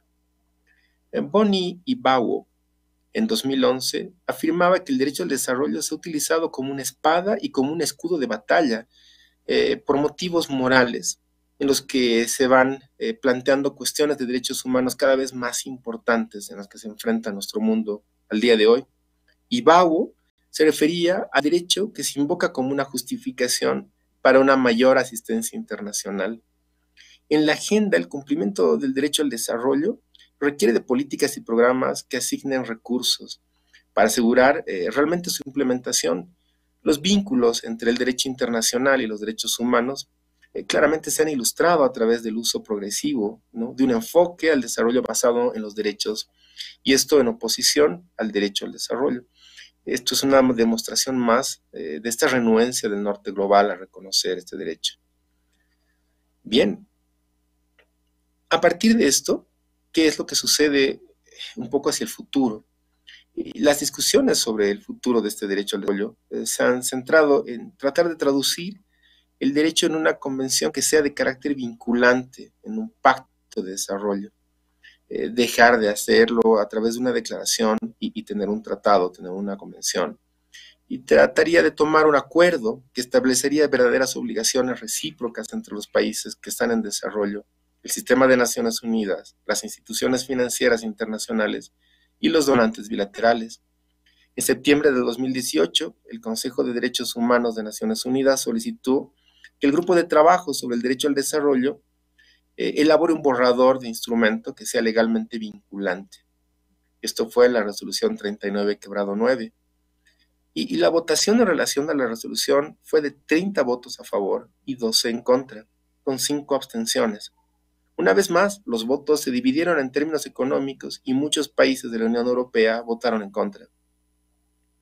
De esta continua división, la verdad que quienes vayan a redactar el tratado se van a enfrentar con esta decisión entre la creación de un tratado con obligaciones claras que satisfaga a, los países en desarrollo o alternativamente, pues la creación de un instrumento que sea vago y que quede centrado en gran medida en principios y no en obligaciones claras. Eh, creo que puntos de vista críticos sobre el derecho al desarrollo a menudo se basan en un progreso que está muy limitado. Eh, quiero decir, con escasos resultados que sean verdaderamente tangibles. Y esto quizás también deviene de la falta de un instrumento eh, legal que sea vinculante. Se pasan por alto y quizás esto está mal, eh, ciertos resultados que son intangibles del discurso como tal, y esto es muy valioso porque el derecho a desarrollo realmente ha desempeñado al día de hoy un papel muy, muy importante al abrir un espacio que pretende eh, movilizar el y trabajar en la construcción de consensos. Eh, sin embargo, si, si los actores estatales, instituciones financieras, corporaciones transnacionales continúan ganando poder, eh, de alguna forma la extraterritorialidad del derecho al desarrollo se va a volver cada vez más, podemos decirlo, tenue en un mundo que tiene un ritmo eh, globalizado. Creo que debemos prestar atención en la implementación del derecho al desarrollo, tanto a nivel nacional, local, pero también a nivel internacional, y, y tenemos que hacer un esfuerzo importante para lograr que esto continúe un, proceso hacia adelante y no, no, no nos estanque. Eh, se trata de quizás intentar lograr un, un, instrumento que sea vinculante con la legitimidad de los más de 30 años que este derecho ha cumplido. Pues con esto concluyo, quedo muy, muy agradecido y, felicito por las excelentes intervenciones y deseo una excelente intervención a continuación. Gracias. Aplausos, por favor. Bueno, muchísimas gracias, doctor Villafuerte Phillips Form, por sus valiosos aportes. A continuación, quisiera nombrar a la doctora magíster Adriana Melgar Rimachi, quien a continuación va a realizar su econencia, pero antes de ello quisiera dar un comienzo, una explicación más bien de su CV, de su hoja de vida. La doctora es magíster en la teoría y práctica de los derechos humanos, el Centro Noruego de Derechos Humanos de la Universidad de Oslo, Noruega, en 2021. Fue becaria del programa RTD Alliance Defense Freedom, ADF, en 2014. Fue ganadora de un estipendio de investigación otorgado por la Free Organization Oslo, Noruega. Fue pasante como asistente de cátedra en la Facultad de Derecho de la Universidad de Yunnan, China, en 2019. Sus áreas de interés son el rol y la relación de los tribunales nacionales e internacionales de derechos humanos, ideas de desarrollo y derechos humanos, derechos de los pueblos indígenas, elder law, y derechos reproductivos. Adelante, doctora. Muy bien, muchas gracias, eh, Maísa. Eh, buenos días a, todos los presentes. Es verdaderamente para mí un placer eh, participar en este sexto encuentro de estudiantes de Derecho. Agradezco y celebro que se sigan dando espacios de diálogo y de encuentro eh, fraterno entre estudiantes de derecho, especialmente después de estos largos años de pandemia. Eh, también me alegra mucho compartir este panel con los doctores Guerra, el doctor Sartea, el doctor Villafuerte. Eh, es para mí un, honor realmente escucharlos y poder aprender a partir de su conocimiento y de su experiencia. Me alegra también eh, estar aquí para hablar de un tema que en su momento eh, me suscitó muchas eh, interrogantes que traté de responder durante mis estudios de maestría. Eh, voy a plantear algunos dilemas y preguntas en torno al desarrollo, eh, al derecho al desarrollo de los pueblos indígenas eh, en América Latina, especialmente en el caso peruano. no voy a, intentar resolver estas cuestiones, sino que simplemente mi intención es abrir esta conversación o más bien continuarla, porque escuché el día de ayer que había mucho interés sobre este tema y bueno, la idea eh, es que eh, este espacio de reflexión nos ayude a todos a tener una visión más integral o como dirían los pueblos indígenas, una visión más holística de lo que significa el derecho al desarrollo en países pluriculturales como los que tenemos en la región. Em, el derecho al desarrollo en el contexto de los pueblos indígenas eh, suscita muchas más preguntas que eh, respuestas. Si bien los pueblos indígenas han aplaudido que se les incluya y se les reconozca como socios activos en los planes de desarrollo, esto en virtud del artículo 1, inciso 1 de la Declaración sobre el Derecho al Desarrollo, la idea de que todas las comunidades eh, darían la bienvenida al desarrollo y participarían activamente en su elaboración no suele ser del todo una realidad. Eh, esto se debe a que, como indica Nancy Postero, para los pueblos indígenas el término desarrollo todavía evoca sentimientos encontrados, expectativas, pero también sospechas.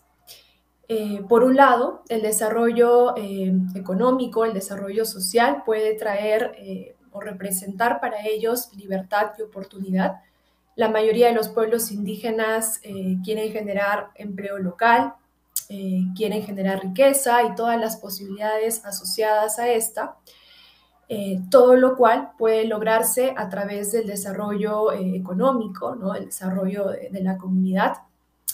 Pero por otro lado, los pueblos indígenas con frecuencia se han visto afectados por el progreso del desarrollo el cual comúnmente lo experimentan como un desarrollo agresivo. Ellos a menudo se ven obligados a abandonar sus tierras ancestrales para dar paso a proyectos eh, e infraestructura que sostienen la modernización nacional, sin ningún impacto positivo eh, y significativo en su propio bienestar. Eh, los programas de desarrollo nacionales en muchos estados no logran abordar eh, e incluir las necesidades de las comunidades indígenas, lo que con frecuencia ha llevado a un empeoramiento generalizado de sus condiciones de vida. Em, por otro lado, eh, eslogans o proyectos de vida, como este famoso proyecto del buen vivir, que algunos entienden como una propuesta alternativa de desarrollo, de una visión occidental de, desarrollo, occidentalizada de desarrollo, y otros entienden como una propuesta alternativa al desarrollo, eh, refleja estos eslogans una contribución indígena a la construcción colectiva de una sociedad alternativa, de una sociedad diferente a la que promueve el desarrollo como lo conocemos nosotros, pero a mi criterio, estos eslogans eh, solo enfatizan la distancia entre los pueblos indígenas y el desarrollo, em, sin generar resultados concretos. Aunque las comunidades indígenas han ganado un nuevo poder para promulgar eh, sus propias visiones de desarrollo, se pasa por alto que estas visiones eh, deben desarrollarse o llevarse a cabo dentro de las limitaciones que imponen fuerzas más grandes, como el capitalismo global o el mismo Estado-nación. Casos como el de Ecuador o el de Bolivia, y en esto el doctor Villafuerte no me dejará mentir, eh, nos advierten que incluso si un presidente indígena apunta a alabar el buen vivir y se reescribe la constitución para proteger a los pueblos indígenas y sus derechos, el Estado podría aún continuar con eh, proyectos de desarrollo nacional que estén basados en la extracción de recursos y sacrificando eh, tierras indígenas. Además, eh, la visión del desarrollo, lo que significa desarrollo, ha cambiado con el tiempo. En la década de los 90, eh, el pensamiento y la práctica del desarrollo evolucionaron de una visión centrada en el Estado a ideas centradas en las personas que enfatizaban la participación y el empoderamiento de estas. Eh, el enfoque de capacidades de Amartya Sen, como bien mencionó eh, el doctor Sartea, ofrece, eh, ofreció a partir de ese momento una concepción del desarrollo basada en la ampliación de la libertad del individuo. al poner a los individuos en el centro del desarrollo, en lugar de los estados y las métricas económicas, se abrió un nuevo camino en la aproximación y en la puesta en marcha de eh, distintos planes de desarrollo. Y es aquí quizás donde eh, podemos eh, plantear una primera cuestión. ¿no? Podemos aproximarnos al derecho al desarrollo de los pueblos indígenas desde este enfoque de capacidades. ¿Qué tiene que aportar este enfoque de capacidades al derecho de estos pueblos?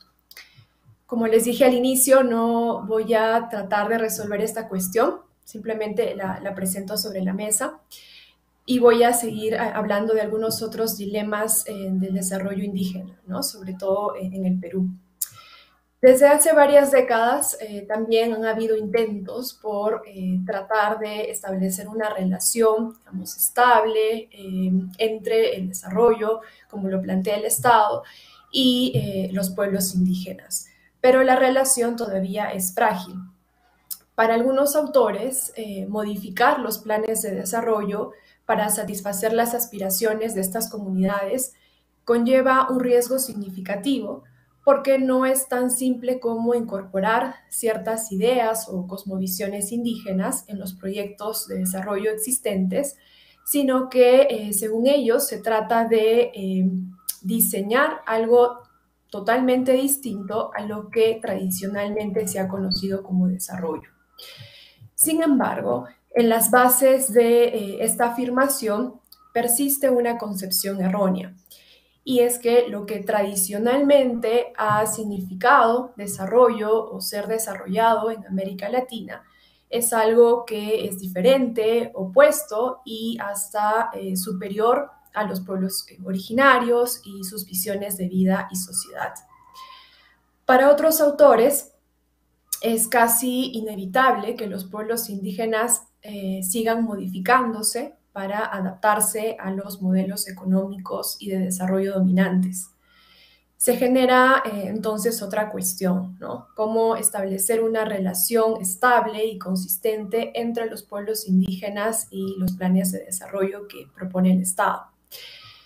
Por otro lado, eh, los indígenas que voluntariamente o no participan en el mercado local sea como productores, comerciantes o eh, como sirvientes, no tienen eh, una opción de negociar con los actores poderosos.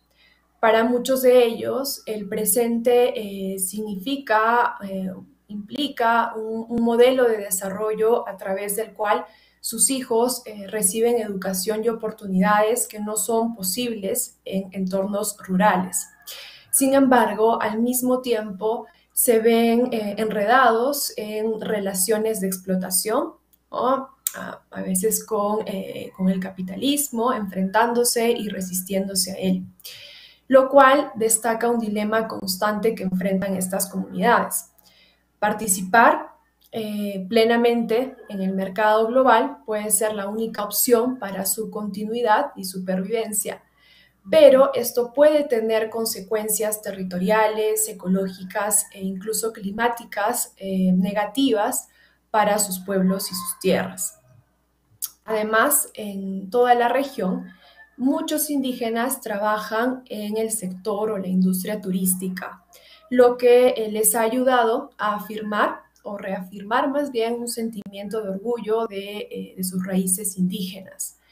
Sin embargo, eh, mientras que esta creciente industria del eco-etnoturismo depende de que los participantes indígenas demuestren autenticidad al compartir su sabiduría antigua con los visitantes, la realidad es que muchos de los participantes indígenas han reavivado estas actividades y rituales ancestrales debido a su valor económico y solo para explotar dicho valor, pero ellos ya no viven de esa forma ancestral.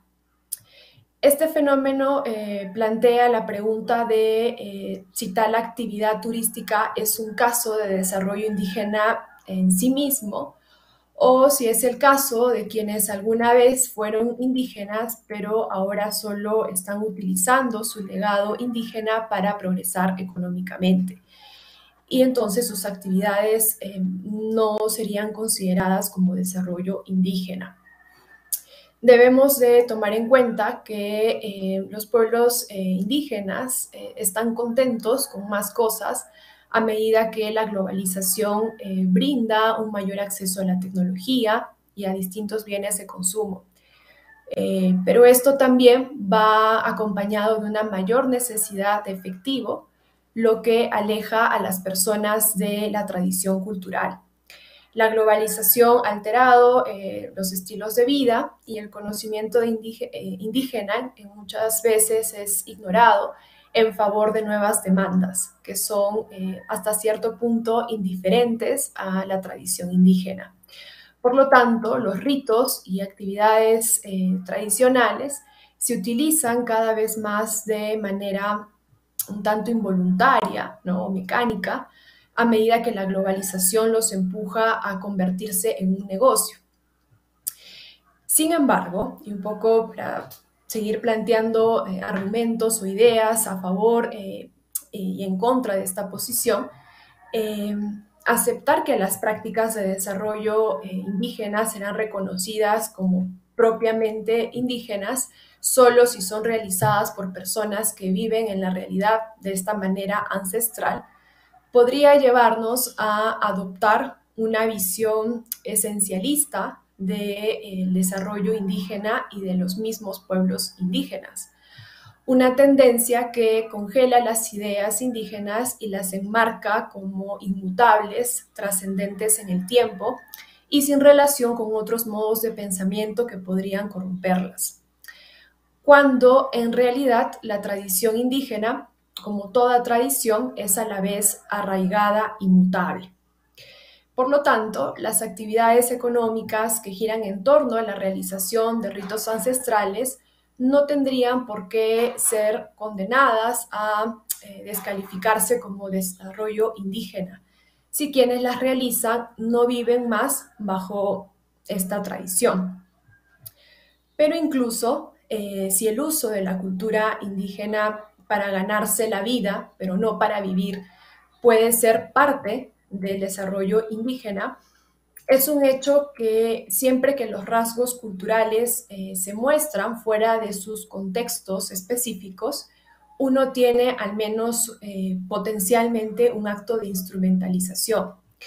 Así, fundamentar el desarrollo indígena en la cultura y la tradición implica un escenario paradójico, uno en el que los eh, pueblos indígenas se ven obligados a no abandonar una vida tradicional mientras la instrumentalizan o dejan que otros eh, la instrumentalicen para progresar eh, económicamente, o adaptarse siguiendo la naturaleza evolutiva de su tradición y de su cultura, mientras aceptan la idea de que sus actividades económicas basadas eh, en dicha cultura podrían ser catalogadas como cualquier cosa menos como desarrollo indígena. Eh, en ambos escenarios hay un resultado trágico. Eh, estas personas no tienen libertades de opción reales en ninguno de estos dos casos y no tienen más remedio que aceptar una cosa a expensas de algo que también es valioso para ellos. Em, entonces, los desafíos que la cultura como fundamento eh, puede plantear para el desarrollo indígena muestra otro gran dilema que surge de la interrelación entre indigeneidad y desarrollo. Desde mi punto de vista, eh, el desarrollo indígena eh, no debe ser conceptualizado, evaluado o defendido desde la tradición o la cultura indígena, porque em, estas son mutables y esto podría poner en una situación o en una posición incómoda a los mismos indígenas. Y también porque perpetúa eh, un juego conflictivo o una relación conflictiva entre indigeneidad y desarrollo. Como vemos, em, en este gran rompecabezas de lo que significa el derecho al desarrollo de los pueblos indígenas, aún hay muchas piezas eh, faltantes que, necesitamos encontrar. Y para tratar de brindar quizás algunas luces en esta búsqueda, eh, voy a acudir a, uno de los eslogans de, este enfoque de capacidades del profesor eh. Eh, y es que el desarrollo debe tejerse en torno a las personas y no las personas en torno al desarrollo. Los pueblos indígenas pueden tener el deseo de participar en la economía moderna, según los modelos de cada nación, pero quieren asumir eh, sus propias reglas y mantener eh, cierto sentido de, sus valores tradicionales. Eh, en ese sentido, no existe una incompatibilidad sustancial entre la indigeneidad y el desarrollo, ni la participación de los indígenas en los distintos modelos de desarrollo debe verse como una simple intrusión de la mentalidad y de valores occidentales en las formas de ser de estos pueblos consideradas más tradicionales. De hecho, como afirman Cornell y Cult, eh, ha habido casos en los que las comunidades indígenas han obtenido éxito eh, en el mercado practicando una amplia variedad de modelos eh, de gobierno que incluyen estructuras institucionales relativamente eh, más modernas y relativamente más tradicionales. Lo común en esos casos ha sido la oportunidad y la capacidad que tienen eh, las comunidades indígenas para elegir libremente su camino de desarrollo. En el Perú, aunque las comunidades indígenas a menudo viven en áreas eh, que son muy ricas en términos de eh, recursos naturales, a menudo también se encuentran entre los grupos más pobres y marginados de la sociedad. Las razones clásicas que se señalan para explicar los obstáculos a los que se enfrentan estas comunidades para explotar sus recursos locales en su propio beneficio suelen centrarse en la falta de capital, en la falta de conocimientos técnicos o acceso a infraestructura proporcionada por autoridades externas. Estas razones eh, se refieren a un enfoque de desarrollo basado en los recursos y por lo tanto se centran en los insumos eh, materiales que el desarrollo indígena requiere. Lamentablemente hay menos preocupación y conocimiento sobre lo que los pueblos indígenas eh, son realmente capaces de hacer, qué vidas pueden llevar y si llevan la vida que ellos prefieren llevar.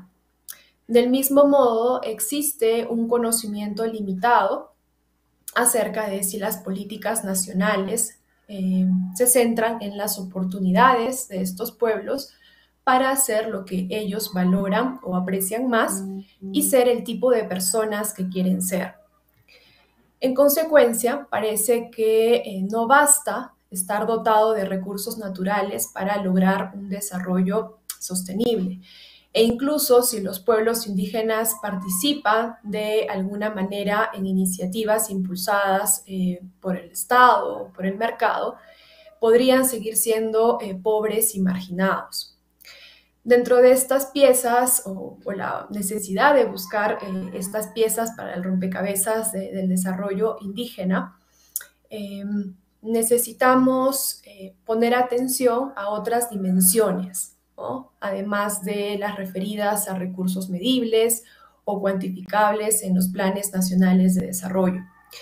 No es un secreto que los pueblos indígenas quieren determinar eh, localmente los objetivos y las estrategias de desarrollo, quieren controlar los procesos de desarrollo y producir beneficios de todo tipo a nivel local, respetando el entorno eh, natural, dado su apego a, a estos territorios ancestrales y preservando también un ambiente eh, pacífico, libre de conflictos. En consecuencia, es posible eh, sostener que los pueblos indígenas enmarcan su desarrollo en términos de libertades, ya que de nada sirve tener eh, recursos si no se tiene libertad sobre ellos. Un enfoque basado en las capacidades, eh, entendidas estas como libertades de opción o elección de los pueblos indígenas, podría ser una de las piezas que ayude a completar este rompecabezas. Eh, lo interesante aquí, que también podría plantear otra cuestión, es que este enfoque de capacidades eh, se centra eh, de manera especial en las libertades de cada individuo, ¿no? en las libertades, capacidades oportunidades de elección tiene cada individuo. Pero, ¿cómo hablar de libertades individuales en un mundo indígena donde se valoran o tienen más peso los intereses o valores colectivos?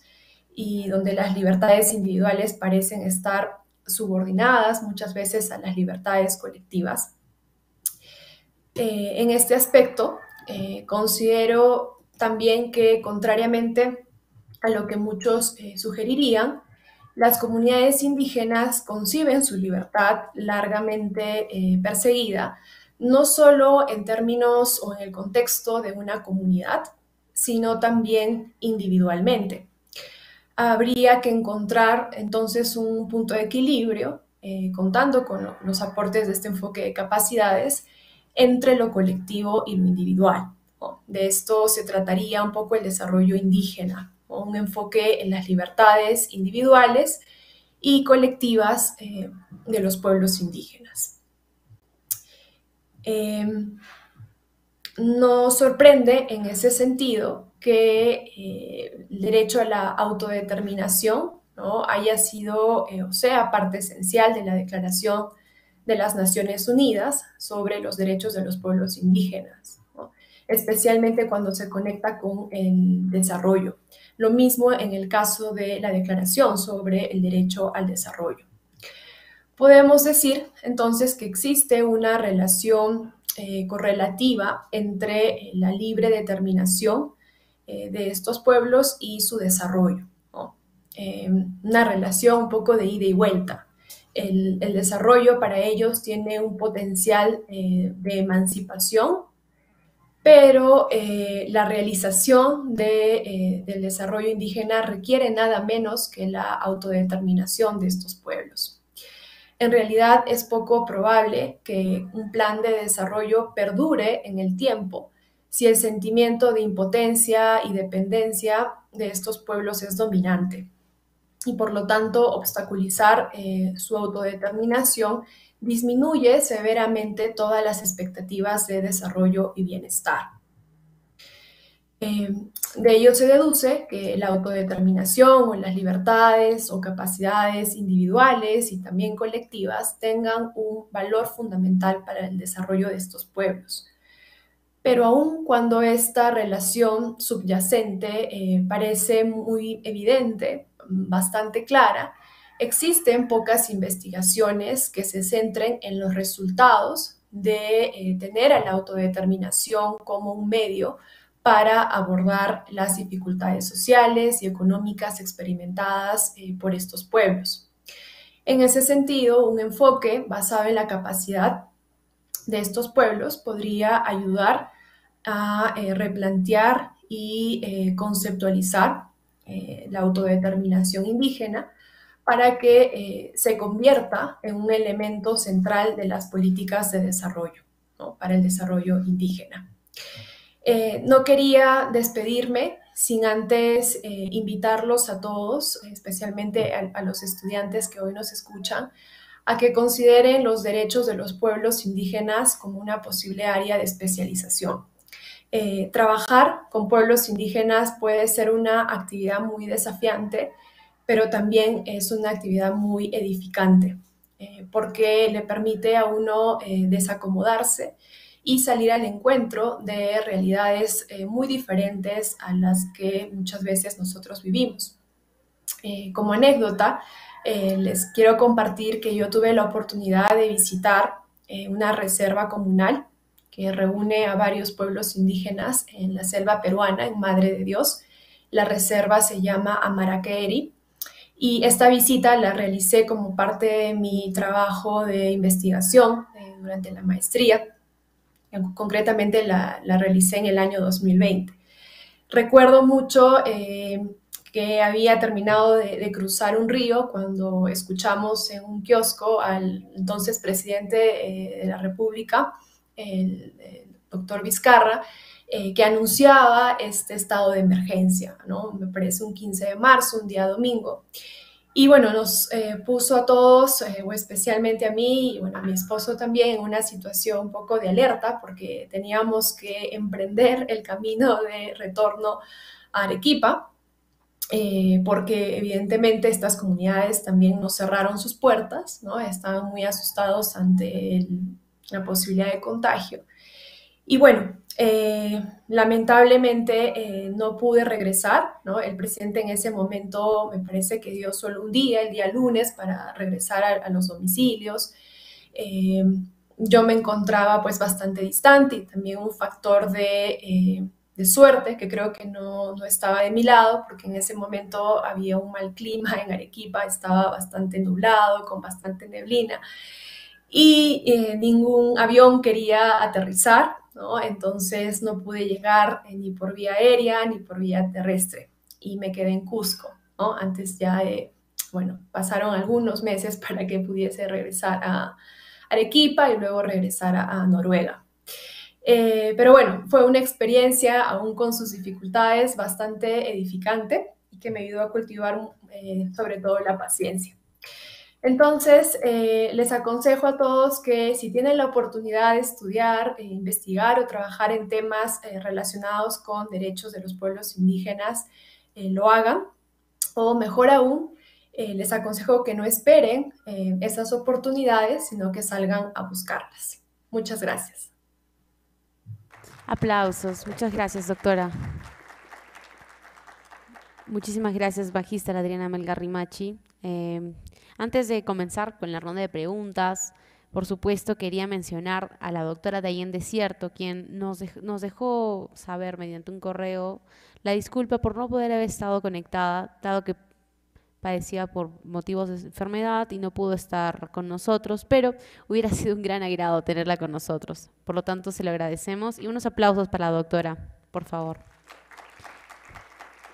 Listo. Entonces, agradecemos muchísimo a la participación de todos nuestros expositores del plenario internacional. A continuación, vamos a realizar la ronda de preguntas, para lo cual solicitamos a los participantes, tanto presenciales, que puedan levantar la mano para acercárseles micrófono, y a los participantes virtuales, quienes les solicitamos escriban sus preguntas a través del chat. Muchas gracias. Eh, mi nombre es Guido Vargas, soy de la Universidad Católica Santa María y muchas gracias por su ponencia sus ponencias. Bueno, eh, mi pregunta vendría a ser respecto al derecho de desarrollo, al abarcar también un ámbito cultural, y si llegara a ser vinculante en su momento, ¿sería el deber del Estado proveer prácticas como la corrida de toros o el sacrificio de animales en rituales andidos, como el jaguar fiesta? Y esto es una muestra de que el desarrollo ha de tener un límite en la cultura de buenas prácticas occidentales, ¿O es que podríamos ya hablar de un post-desarrollo y se respetaría las culturas evitando tomar parte en la promoción de conductas de dudosa moralidad? ¿no? Muchas gracias por su pregunta.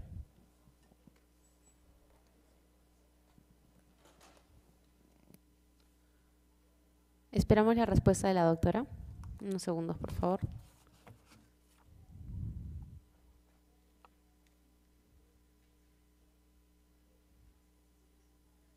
¿No? ¿no? No logré escuchar bien, no sé si podría repetir la pregunta, por favor. Sí, por supuesto. Adelante, la primera pregunta.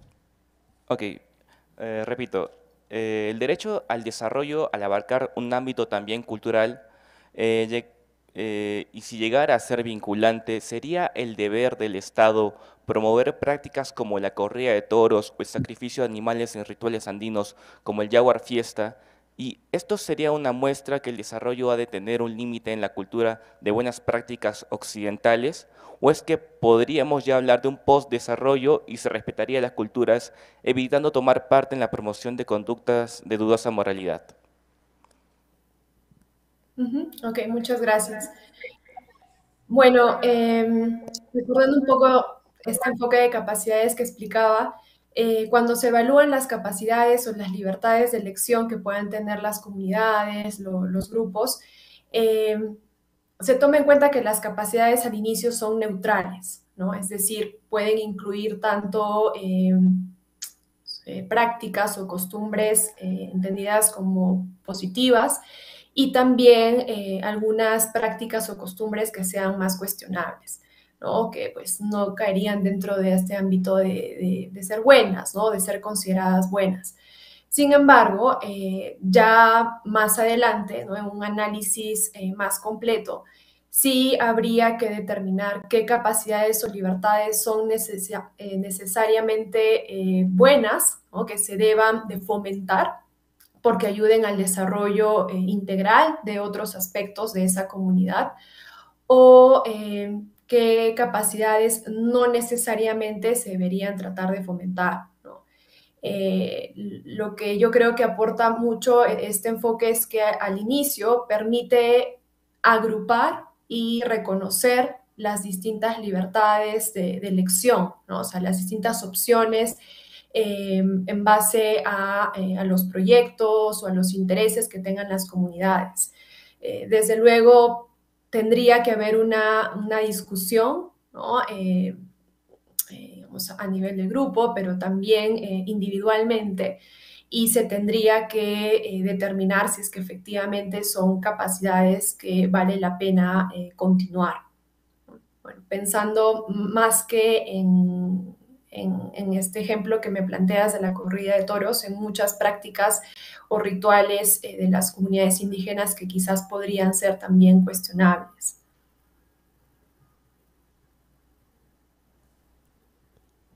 Correcto, gracias por la respuesta, doctora. Siguiente pregunta, por favor.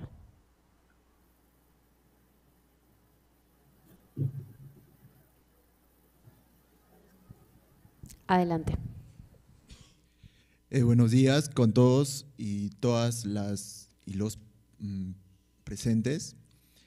Eh, muchas gracias por, por la ponencia. Mm, a continuación voy a, voy a mencionar algunas palabras, espero que no, mm, que no lo tomen como una especie de una crítica destructiva, sino una crítica constructiva.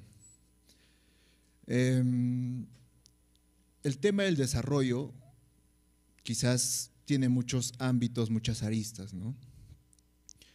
Sin embargo, para poner sobre la mesa lo que es el, el tema del desarrollo, primero se debería desconstruir los principios ya hechos quizás por el derecho o por la enseñanza del derecho hacia los estudiantes en las diferentes universidades. ¿A qué me refiero? Tratar, siempre nos han enseñado de que existen derechos de primera, segunda y tercera orden, ¿no?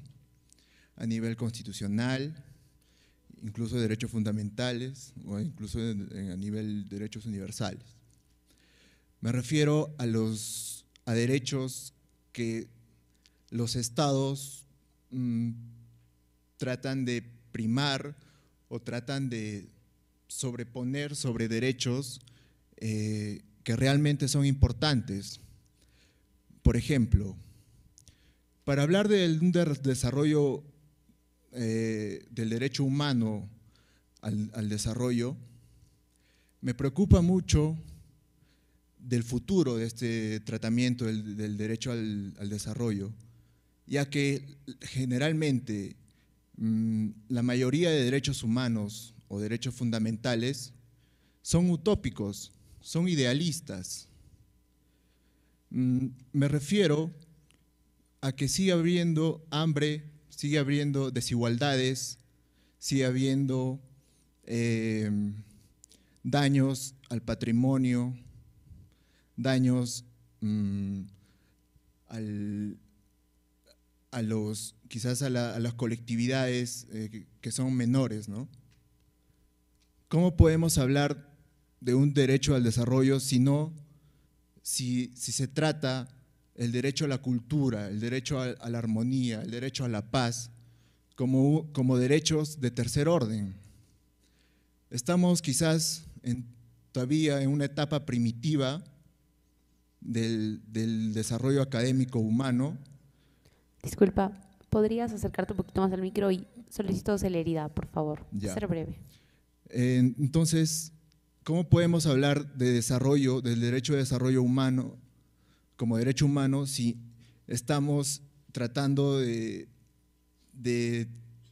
ir eh, de colocar a los verdaderos, a los verdaderos derechos importantes sobre o debajo de, lo, debajo de, lo, de los derechos políticos o económicos. Debe haber un, cambio en cuanto a esos principios y me gustó mucho la ponencia, la última ponencia de la magíster Adriana Melgar, que tiene mucha razón. Eh, quizás el derecho de desarrollo debe ir de la mano con el derecho cultural no es lo mismo hablar el derecho, el derecho al desarrollo aquí en, nuestra región que en el derecho al desarrollo en Europa. Porque existen diferentes comunidades, somos interculturales, pero somos interculturales, pero no somos multiculturales.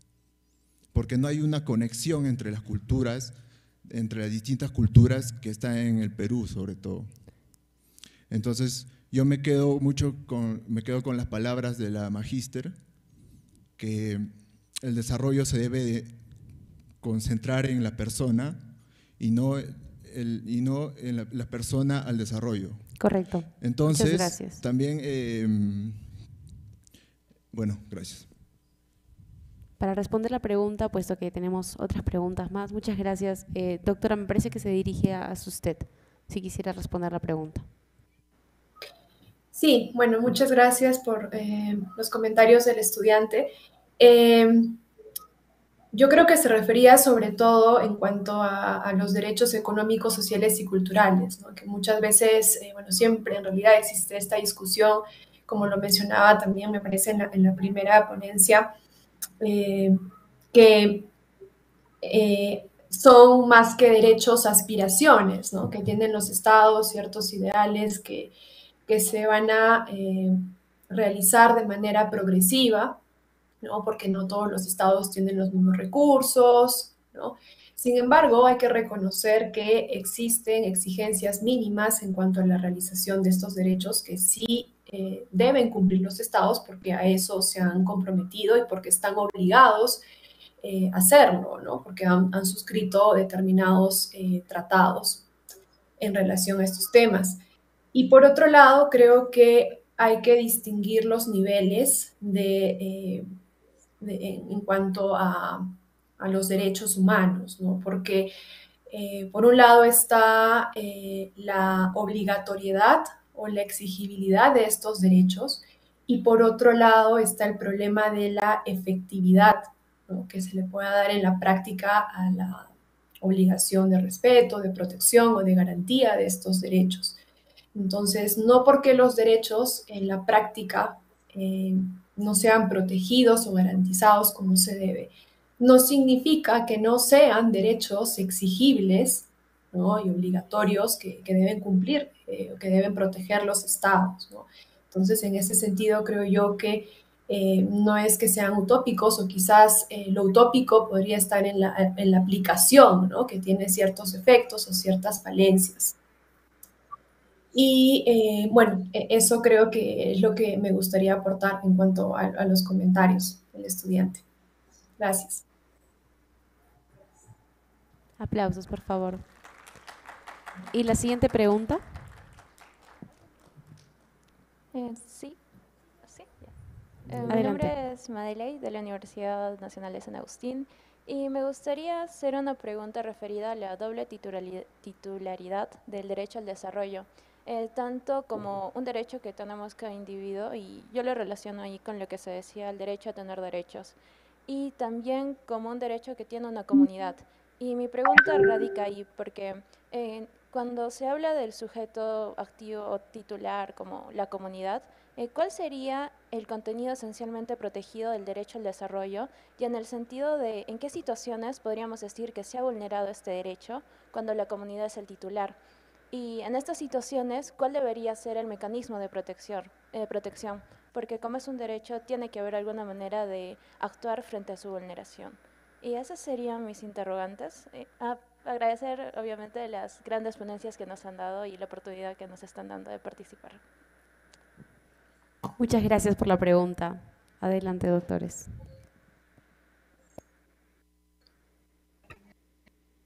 El doctor Guerra tiene que contestar esta interesante pregunta sobre doble titularidad, aunque estamos de acuerdo, como he dicho, pero más experiencia práctica. Sí, eh,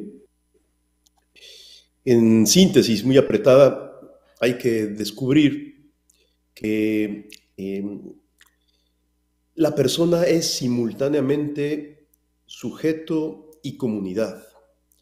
Este es el título de un famoso ensayo escrito justo por Karol Wojtyła en alemán, Person, Subjektum, Gemeinschaft. Y lo que significa es justamente que la persona en su vida está participada a través de sus relaciones sociales y construye una entidad moral grande, colectiva, propia comunidad, a la cual también de manera participada se le puede atribuir un valor importante, una dignidad comunitaria y por lo tanto derechos eh, eh, que tengan como sujeto titular a la propia comunidad. Lo que está subyacente en esto es el concepto de analogía. No se atribuyen los derechos, ni es un sujeto titular de igual manera el individuo que la colectividad. Hay una relación analógica entre persona y comunidad que va a explorar, descubrir qué cosas tienen en común ambos y qué cosas tienen de diferente analogía es esa forma de predicación lógica que reconoce lo igual y lo diferente, privilegiando ligeramente siempre lo diferente. Eh, eh, y esto es importante eh, en el ámbito del derecho. Cuando se pregunta, y bueno, ¿y cuál será el contenido del derecho al desarrollo cuando se habla como derecho de una comunidad? Eh, seguramente un elenco completo de todo su contenido, involucra todo el conjunto de condiciones que requiere una persona para vivir en comunidad y una comunidad para existir como conjunto de personas. El elenco exhaustivo es muy grande, pero hay una noción que desde la se ha concebido para designar este bien de la comunidad y de la persona en tanto que miembro de la comunidad. Es la noción de bien común. La noción de bien común no se refiere a los bienes públicos principalmente, ni se refiere solo a ciertos bienes máximamente mm, eh, colectivos, sino se refiere a todo lo que requiere la persona, lenguaje, cultura, historia, tradición y por supuesto también eh, banquetas y bancas en el parque público. El bien común es entonces una cosa compleja, importante, eh, grande. Eh, los que hemos sido chicos, del modo como la concibe el buen Aristóteles, tenemos que reconocer que el buen Aristóteles, sin embargo, tuvo el acierto de mirar que el bien común, desde un cierto punto de vista, es el bien mayor, es el bien más grande, es el bien que nos protege a todos y tiene que estar jurídicamente tutelado. Eh, ¿Cuáles serían los mecanismos de protección? Pues en cada nivel de organización pueden existir instituciones y autoridades importantes que protejan el bien común en cada nivel, pero hay un punto en donde particularmente en el ámbito del derecho al desarrollo hay, hay una controversia muy vigente en la actualidad y es cuando miramos que el derecho al desarrollo es un derecho de todos, hoy podríamos decir global, y esto requeriría una cierta autoridad política de alcance global. Y allí es cuando algunos se han imaginado que en algún momento se requerirá la existencia de una especie de superestado.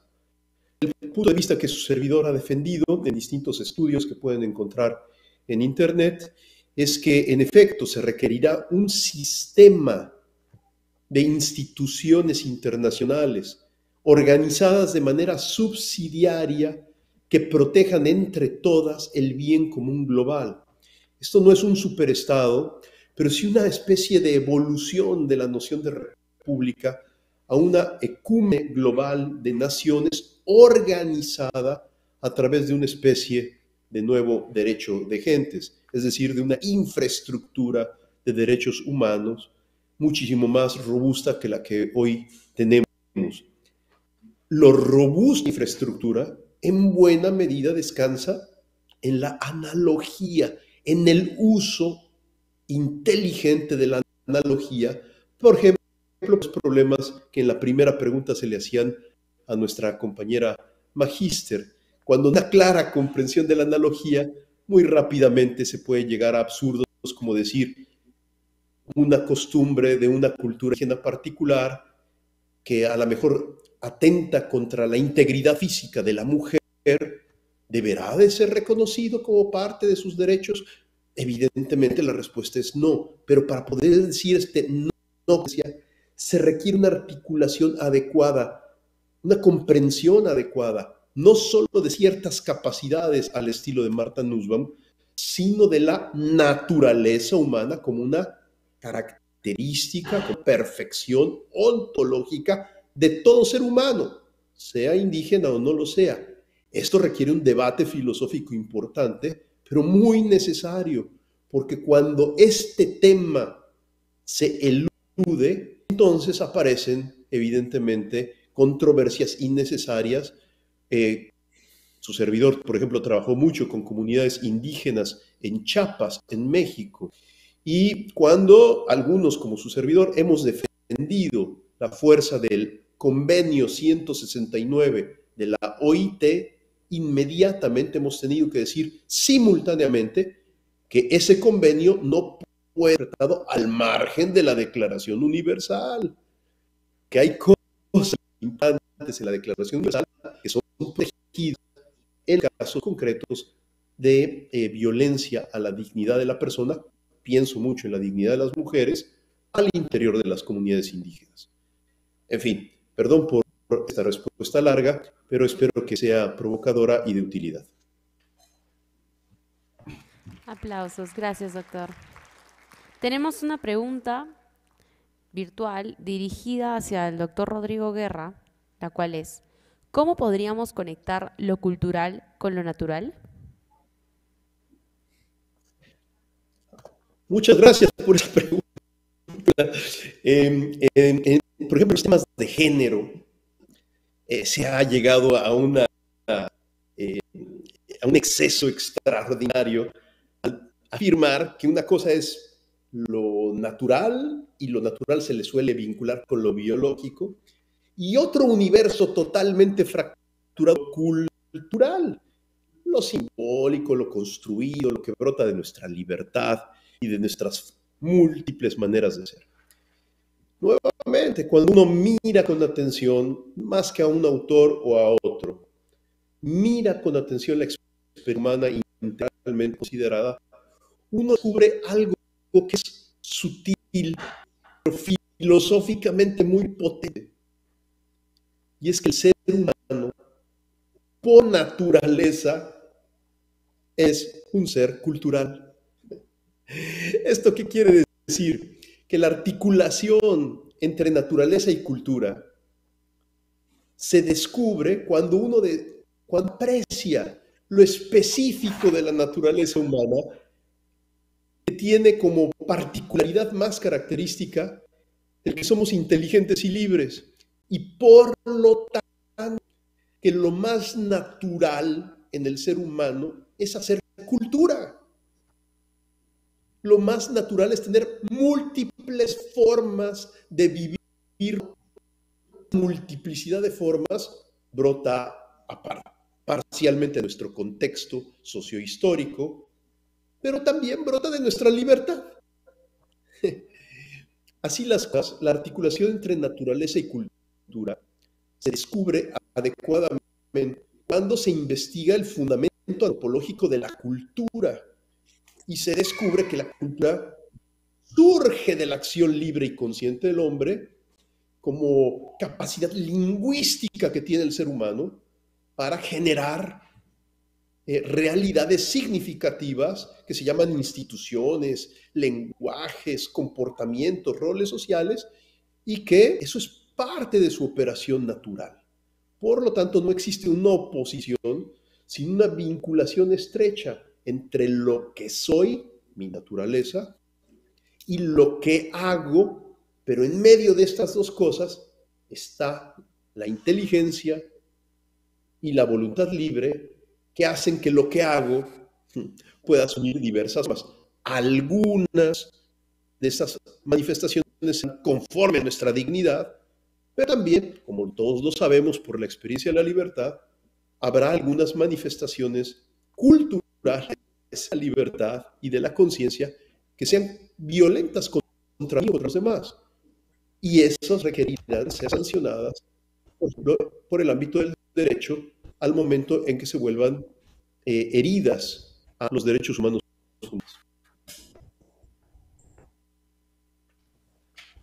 Aplausos, por favor. Hemos tenido ciertos problemas de conexión, pero seguiremos adelante. ¿Cuál es la siguiente pregunta, por favor?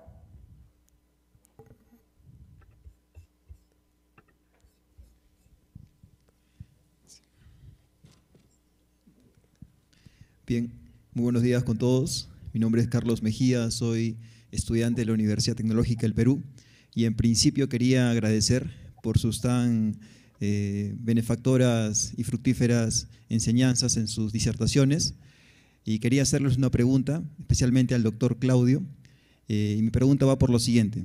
Bueno, antes de formularla quiero plantear dos cuestiones importantes que me parecen resaltar. La primera de ellas es que no cabe duda de que el individuo busca como uno de sus objetivos principales la felicidad, el desarrollo de su personalidad y el respeto de su dignidad, que es un límite infranqueable o es un límite invulnerable por todo Estado de Derecho y por toda Constitución. Y en segundo lugar, cuando el doctor mencionaba la libertad positiva y la libertad negativa, me hizo recordar el libro escrito sobre derechos humanos de Rafael de Asís, donde también mencionaba la acción positiva y la acción negativa del Estado. La acción negativa entendiendo a que el Estado debe respetar el principio de legalidad y no debe vulnerar los derechos fundamentales que le corresponden a los destinatarios del poder, que finalmente somos los individuos.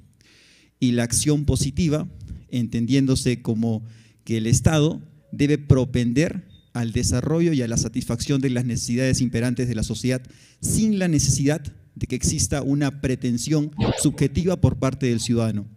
En ese sentido, teniendo en cuenta estas dos cuestiones principales, mi pregunta tal vez es muy amplia, pero yo quería saber por qué el problema de la eficacia, por qué la eficacia de los derechos se representa como el problema tal vez más grande del ordenamiento jurídico.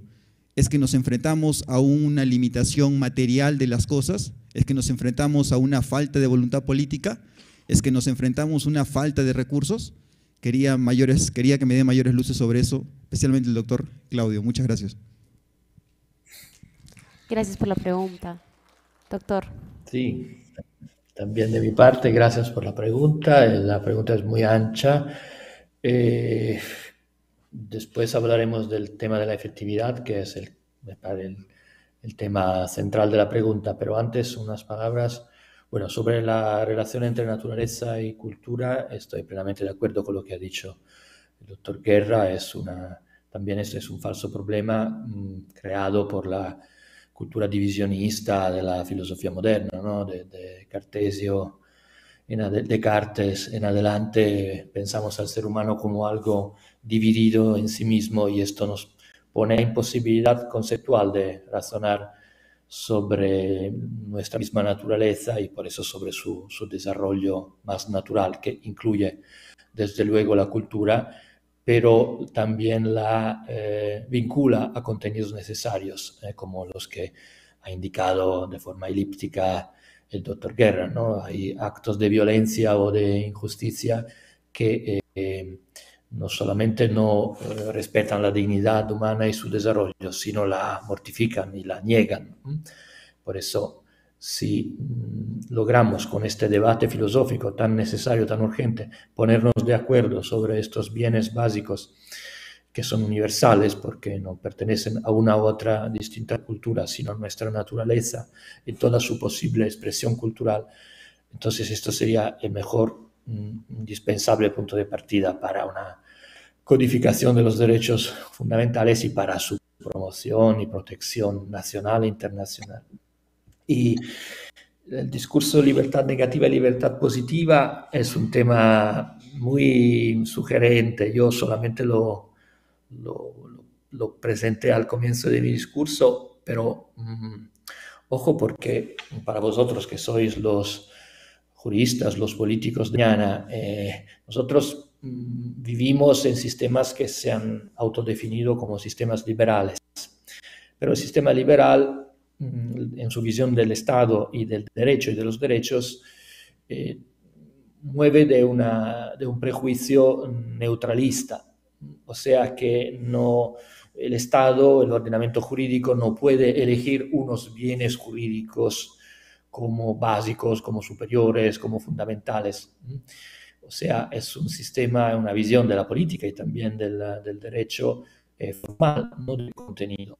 Por este sendero eh, la visión liberal nos lleva a la imposibilidad fáctica y de principio de eh, encontrar este acuerdo transversal entre distintas cosmovisiones sobre una misma idea de la naturaleza humana. Y por eso el tema de la libertad positiva, o sea, del deber de asistencia de las públicas instituciones nacionales e internacionales para ayudarme a desarrollar mi personalidad, es un tema eh, autocontradictorio, eh, porque eh, o es el tema de ayudarme a hacer cualquier cosa yo quiera hacer, y, sin algún límite que no sea el mío a otros.